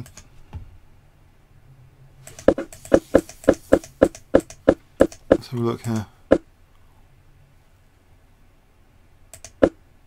Oh, he's played rook f1. He's dragging the queen back a bit passively.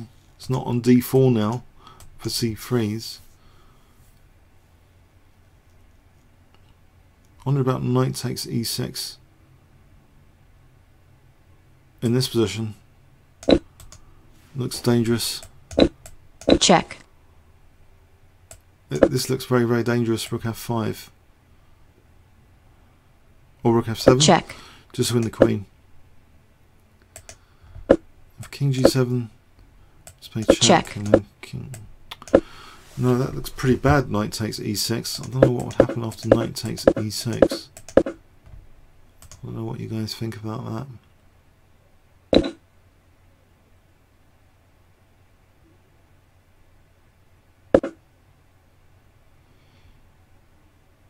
And no, I'm not using an engine. There's nothing at the top. I'm just thinking knight takes e6. He doesn't play it. Okay. Check. check, Okay, so if king f8, we've got knight takes e6 check. It's very, very clear cut, isn't it? If king h7, rook f6. Isn't that a shame? Oh, that's very, very clear cut. Oh, that's crushing. In fact, he's not even winning the rook, he's winning the house, check, isn't he? Because check. Check. And, well, you know, Check. like this. Horrible, check, gruesome. check,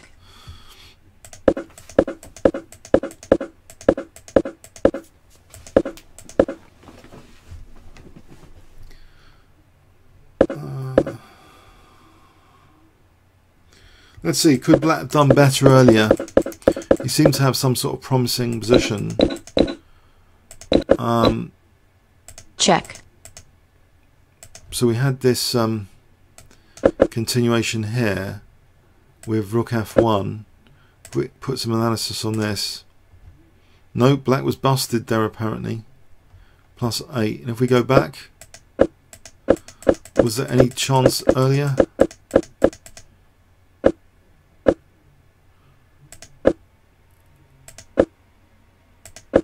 Blimey. As soon as black played h4, was he doomed or something? To f5. If he didn't play h4, technically, it looks... Oh, bishop c5. And what's the idea? So f6, f5, taking queen c5 taking d4.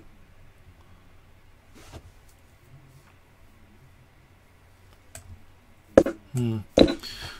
Okay, so he started going downhill when he played h4, apparently.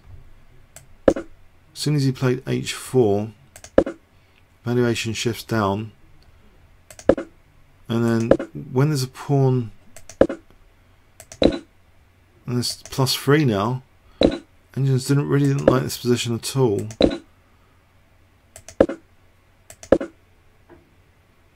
Plus five, plus nine. 11, 12, 13. Auction house bidding is going on here. 16 plus 16.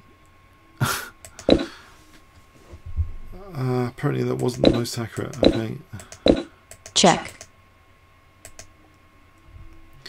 So, um, white uh, won that here after queen, after rook f1. Yeah. We'll stop that.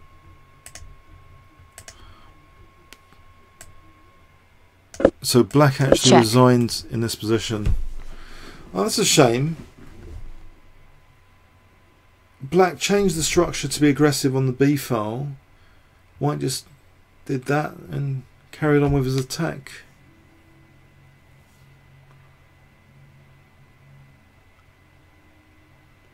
Oh well. So one of the top seeds is through this GM Gharamian. So that was on board four. So let's go back to board one. Oh. Black won that. He's winning the exchange. What happened there? What disaster was that?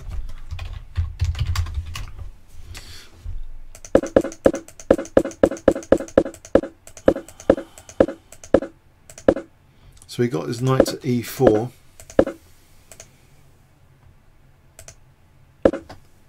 Rook f1, knight d7. b5.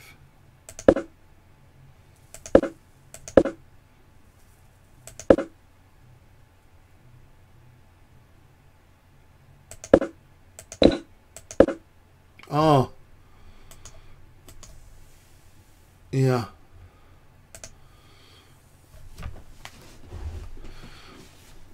Hmm. There's a point to getting a knight on e4. It's not just pretty on e4. It actually does stuff. Quite a lot of squares covered. So yeah, white was going downhill there. This bishop couldn't help any of that on the dark square there. So let's see Philip's game. Philip Tozer is on over here.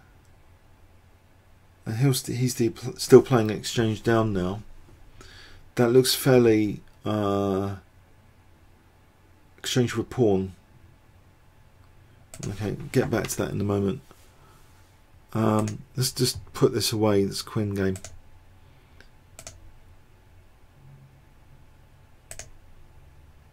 Uh, rook b8. Oh, this this pawn is very cruel here. So black won this. Uh, let's let's just put this on. See how black just won it. That was quite abrupt. After these are all quite quick finishes. After so it wasn't just winning this pawn; it was restricting the king. So two pawns up and restricted king. Now this back row is a major issue. That's horrendous. If taking them would be one. But how do we how does white actually get out of the back row issue? He just goes into an enormous pin. horrendous for bishop b2. So that was that one. Uh, put that away. So okay, they've been wiped out. On, they've been wiped out. The uh, bunnies are getting wiped out here from these GMs. Madueke. Okay, let's see what's happened on this one. Oh, this is quite well advanced. uh, oh, black is a rook down and still playing. So there's something interesting about this on board six. Um,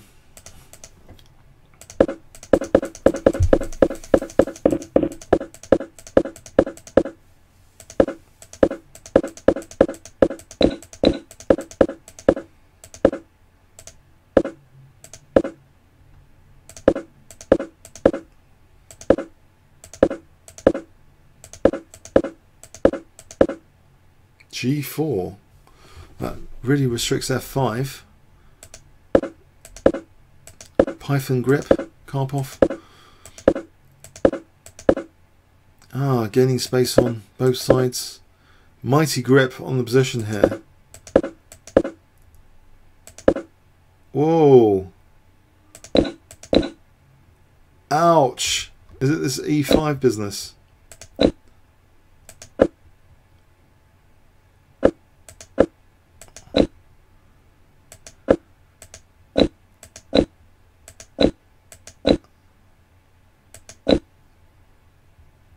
Oh, blimey. Check. Yeah. Oh no. He's threatening mates instead of taking here. Fair enough. Again, threatening a mate with rook h3, rook h2.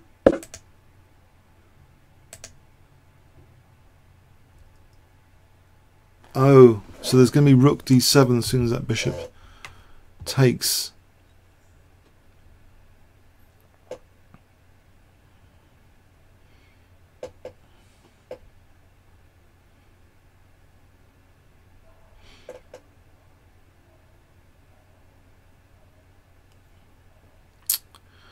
Black might be overloaded here. Check. And you e2. Let me just take it. Uh, you rook d7. Cool, that was brutal actually. If you look at this strangulation of this game from the earlier position, I don't know how many of you like to play black in this position after this this position doesn't offer an enormous amount of counterplay it would seem superficially here. Just to get the full horror of it should we flip the board? So if you were playing black would you be a bit worried here? Because there's no f5 break. Uh, c6 just weakens b6 uh, these knights don't seem to have any squares. So this, this looked like a bit of a passive position. And White's actually opening up the game against the king here on this diagonal, the way he played it. Uh, with that move f4 coming up. Wow.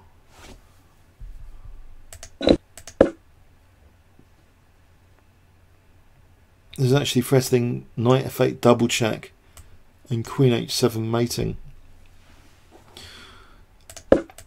So how many of you would like this position with black? You haven't lost any material, but it looks dead.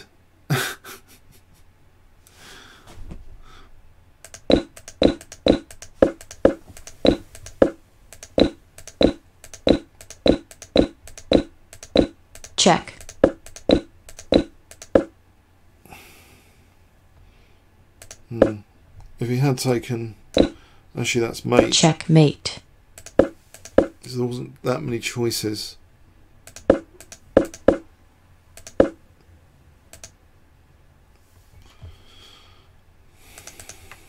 The game's still going on or something. Is it finished? No.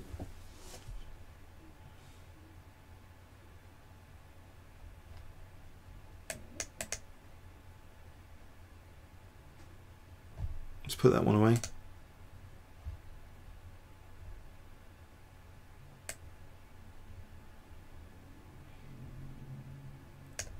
I assume clock's stopped there. That's gone, isn't it?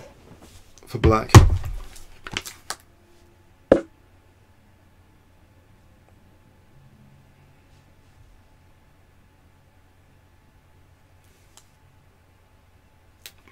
Um, I'll, I'll, I'll get a confirmation on that. It looks as though black resigned there.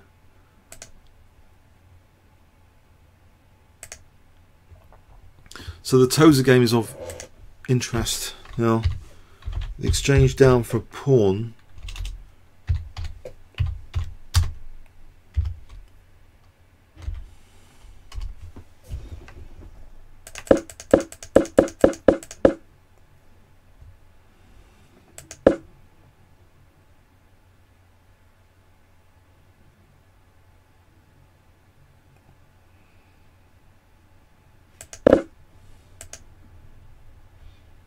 Let's get the gist of this again, sorry. What happens? So, when black gave up the exchange, queen f2, pin, thing bishop h7, check. Okay, going after the a7 pawn to create weaknesses.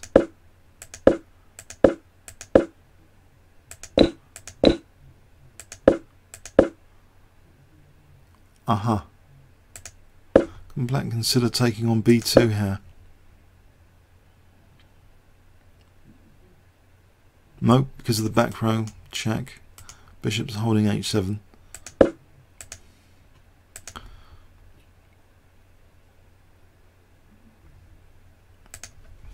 Uh, so this looks like a nasty pin.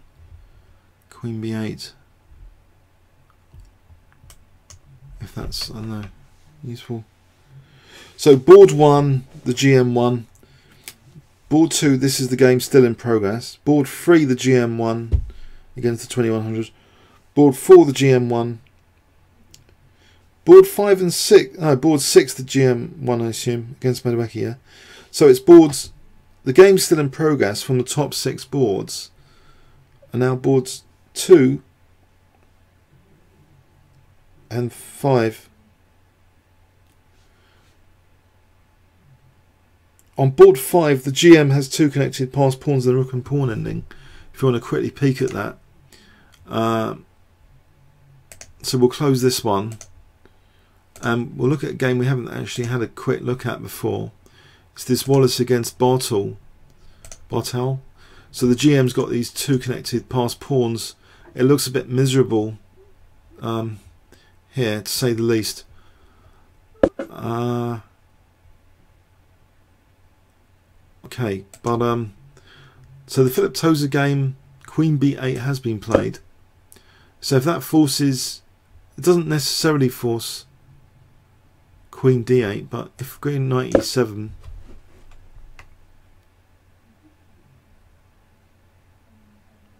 no, Queen E5 seems to force the queens off, nearly. Oh, there's Queen. That was Queen H4, I suppose.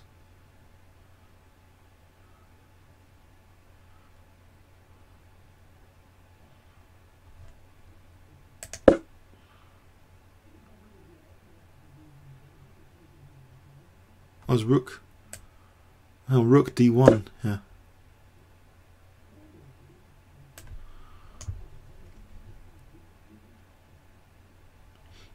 Mm. So if queen d8.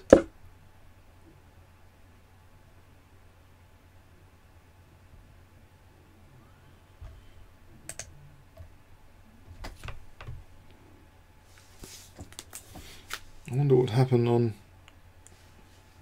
queen d8. Oh, maybe just bishop. Yeah, just to play rook c1.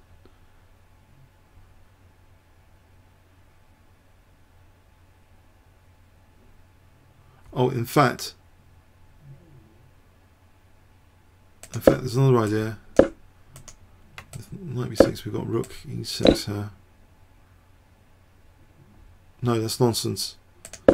No, I don't think that's needed. Bishop e4, just for rook c1.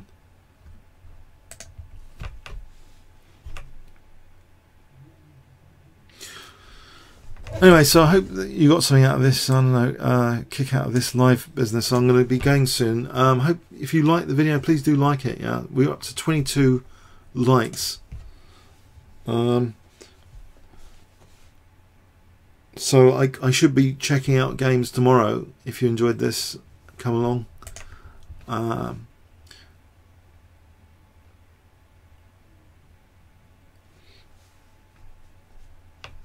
about the same time. I think tomorrow two thirty or something, three o'clock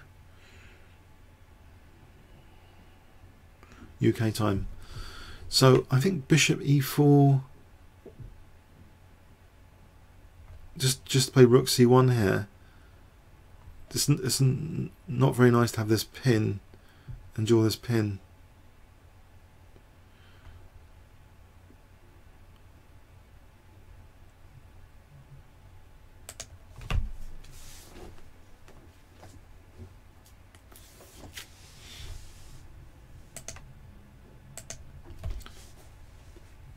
I'm here for a, a few more minutes. Um, so we were looking at the top six boards. There's only two left in progress. One, one. This rook and pawn ending of board five looks really um, all over, really, because okay, for the moment there's a break on. If we have a look at this rook and pawn ending briefly on board five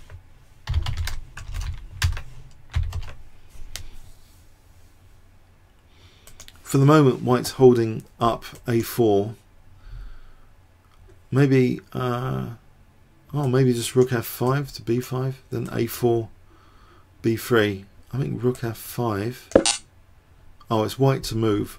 I don't think um, these pawns are going to come down at some point.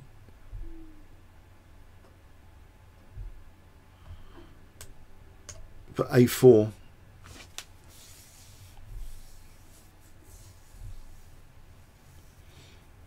They'll just gain in strength. Uh, oh, uh, Philip's resigned. On this board, Philip's resigned. Um, let's check an engine view out of interest then. What would have happened here for, from an engine point of view? Well, it's plus three on Queen D8. Oh, it's mentioning Bishop E4 actually. So if knight e7, rook c1. Oh, now we're threatening, I suppose, bishop b7. So if, if say a5, bishop b7, that pin's just horrendous. So Philip resigned there. Um, if queen d7 to try and stop bishop b7. I don't think black's going anywhere in a hurry. Uh, f5 threatens to kick the bishop off the diagonal. So I guess that's why the engine is recommending f4. So if f5 we can just put it on f3.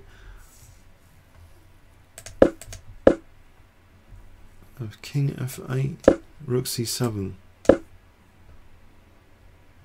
I'm starting to win material. Bishop c6, and there's rook d7.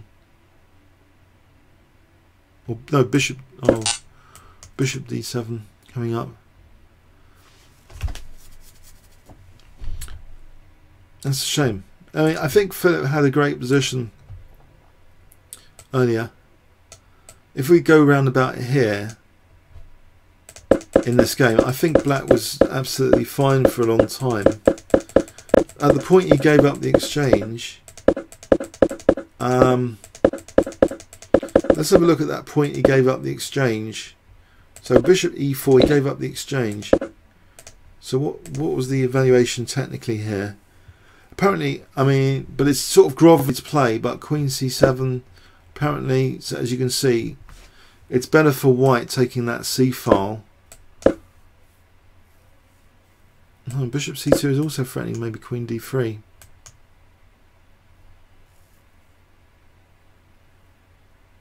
Rook c7, say queen d3. Oh, there, there is actually a mention of knight takes f5 here as well. Knight takes f5 I think was mentioned.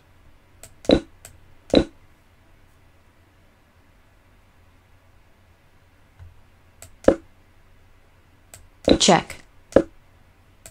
Check. I mean, even this, yeah, was possible uh, theoretically. Uh, so I guess Philip started panicking maybe about his king safety, so he gave up the exchange. Uh, and white's better. Right. Yeah. I think I'm gonna stop that. Uh, so that's the final position there. This just looks horrendous, actually, just for rook f5 to b5.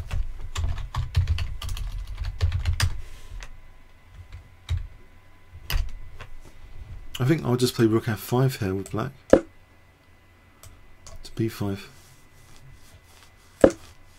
Oh, I just played b3. That's even simpler, maybe. Ah, oh, b3.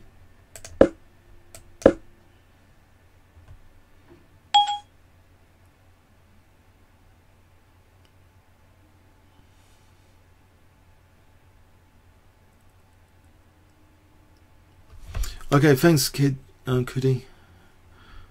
Um, if uh, every time we try and we just play a4 here, and the king could come up. I mean, so I suppose uh, this has to stand guard on this. Mm. Yeah, just still. Or here for b2 and rook c1.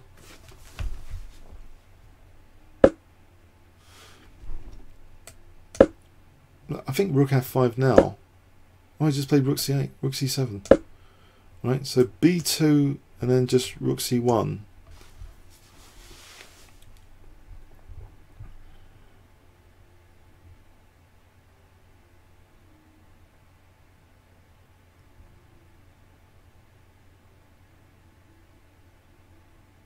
the king gets out of the way, b2,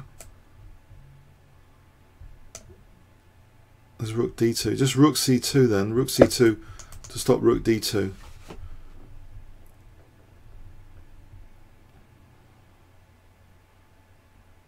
Then, then we just play b2 and rook c1. I think it's pretty much over.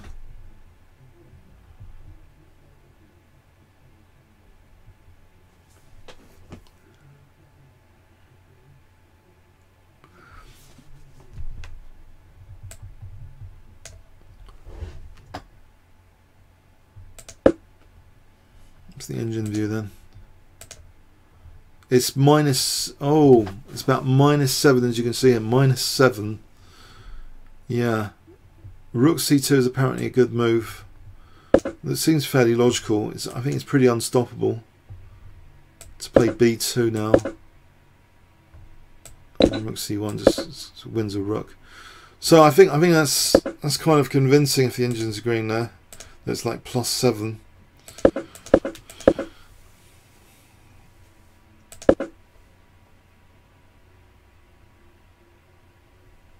If the rook moves off, let me just move this pawn.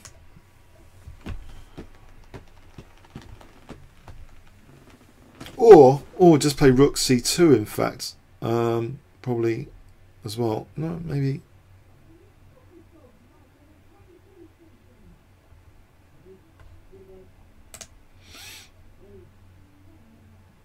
So what's actually playing on here?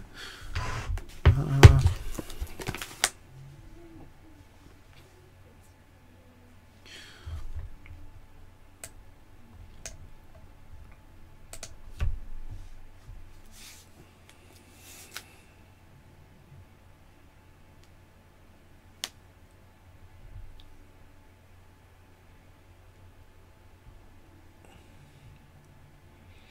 It should be tougher pairings at the top tomorrow. Uh, more closely matched FIDE ratings. So no surprises on, on, on top six boards so far.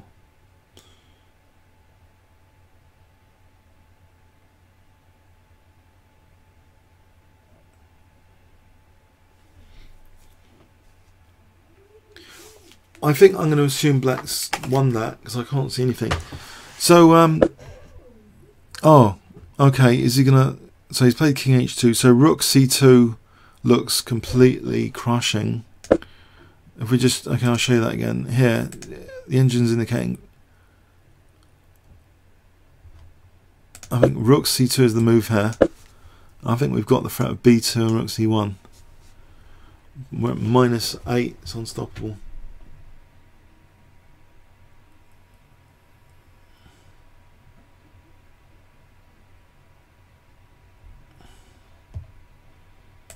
So rook c2.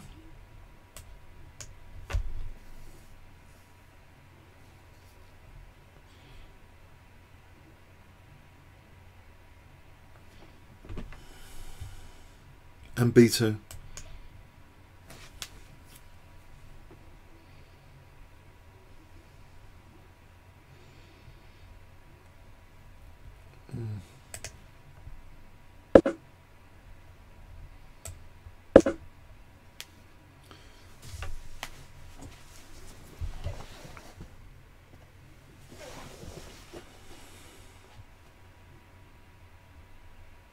Okay. Uh,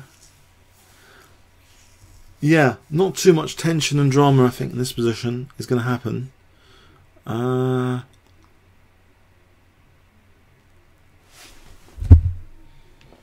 mind you, I've got a bit of cold tea to sort of finish. Uh,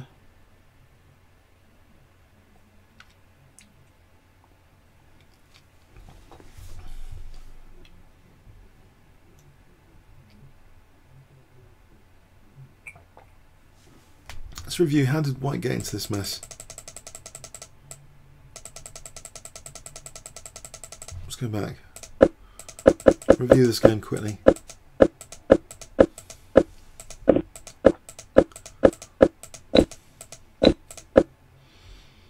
If he'd taken, he would be losing his bishop, I think. To c5. And, and this is some little trick here. Queen makes c6. Oh, might be. Anyway, he played knight d5.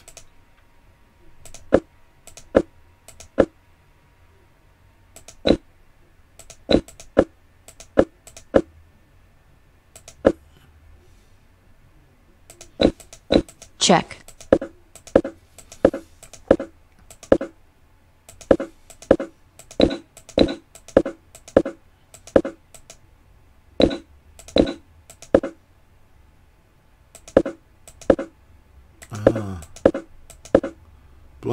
Adventurous king there.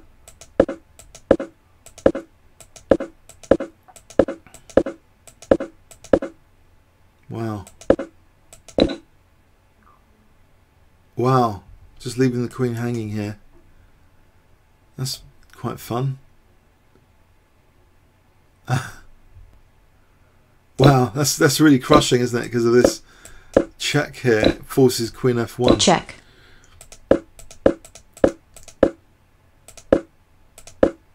So, uh,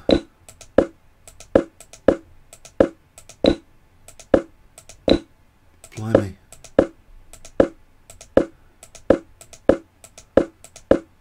These pawns. Check. Got the queens off there. Yeah, you got this winning rook and pawn ending out of it. So anyway, uh, actually, um, Black did resign so I'll just show you the final. That was it. Black. I'm sorry. I mean, White did resign. Thanks. All right. Maybe see some of you tomorrow. Thanks very much. Comments or questions on YouTube?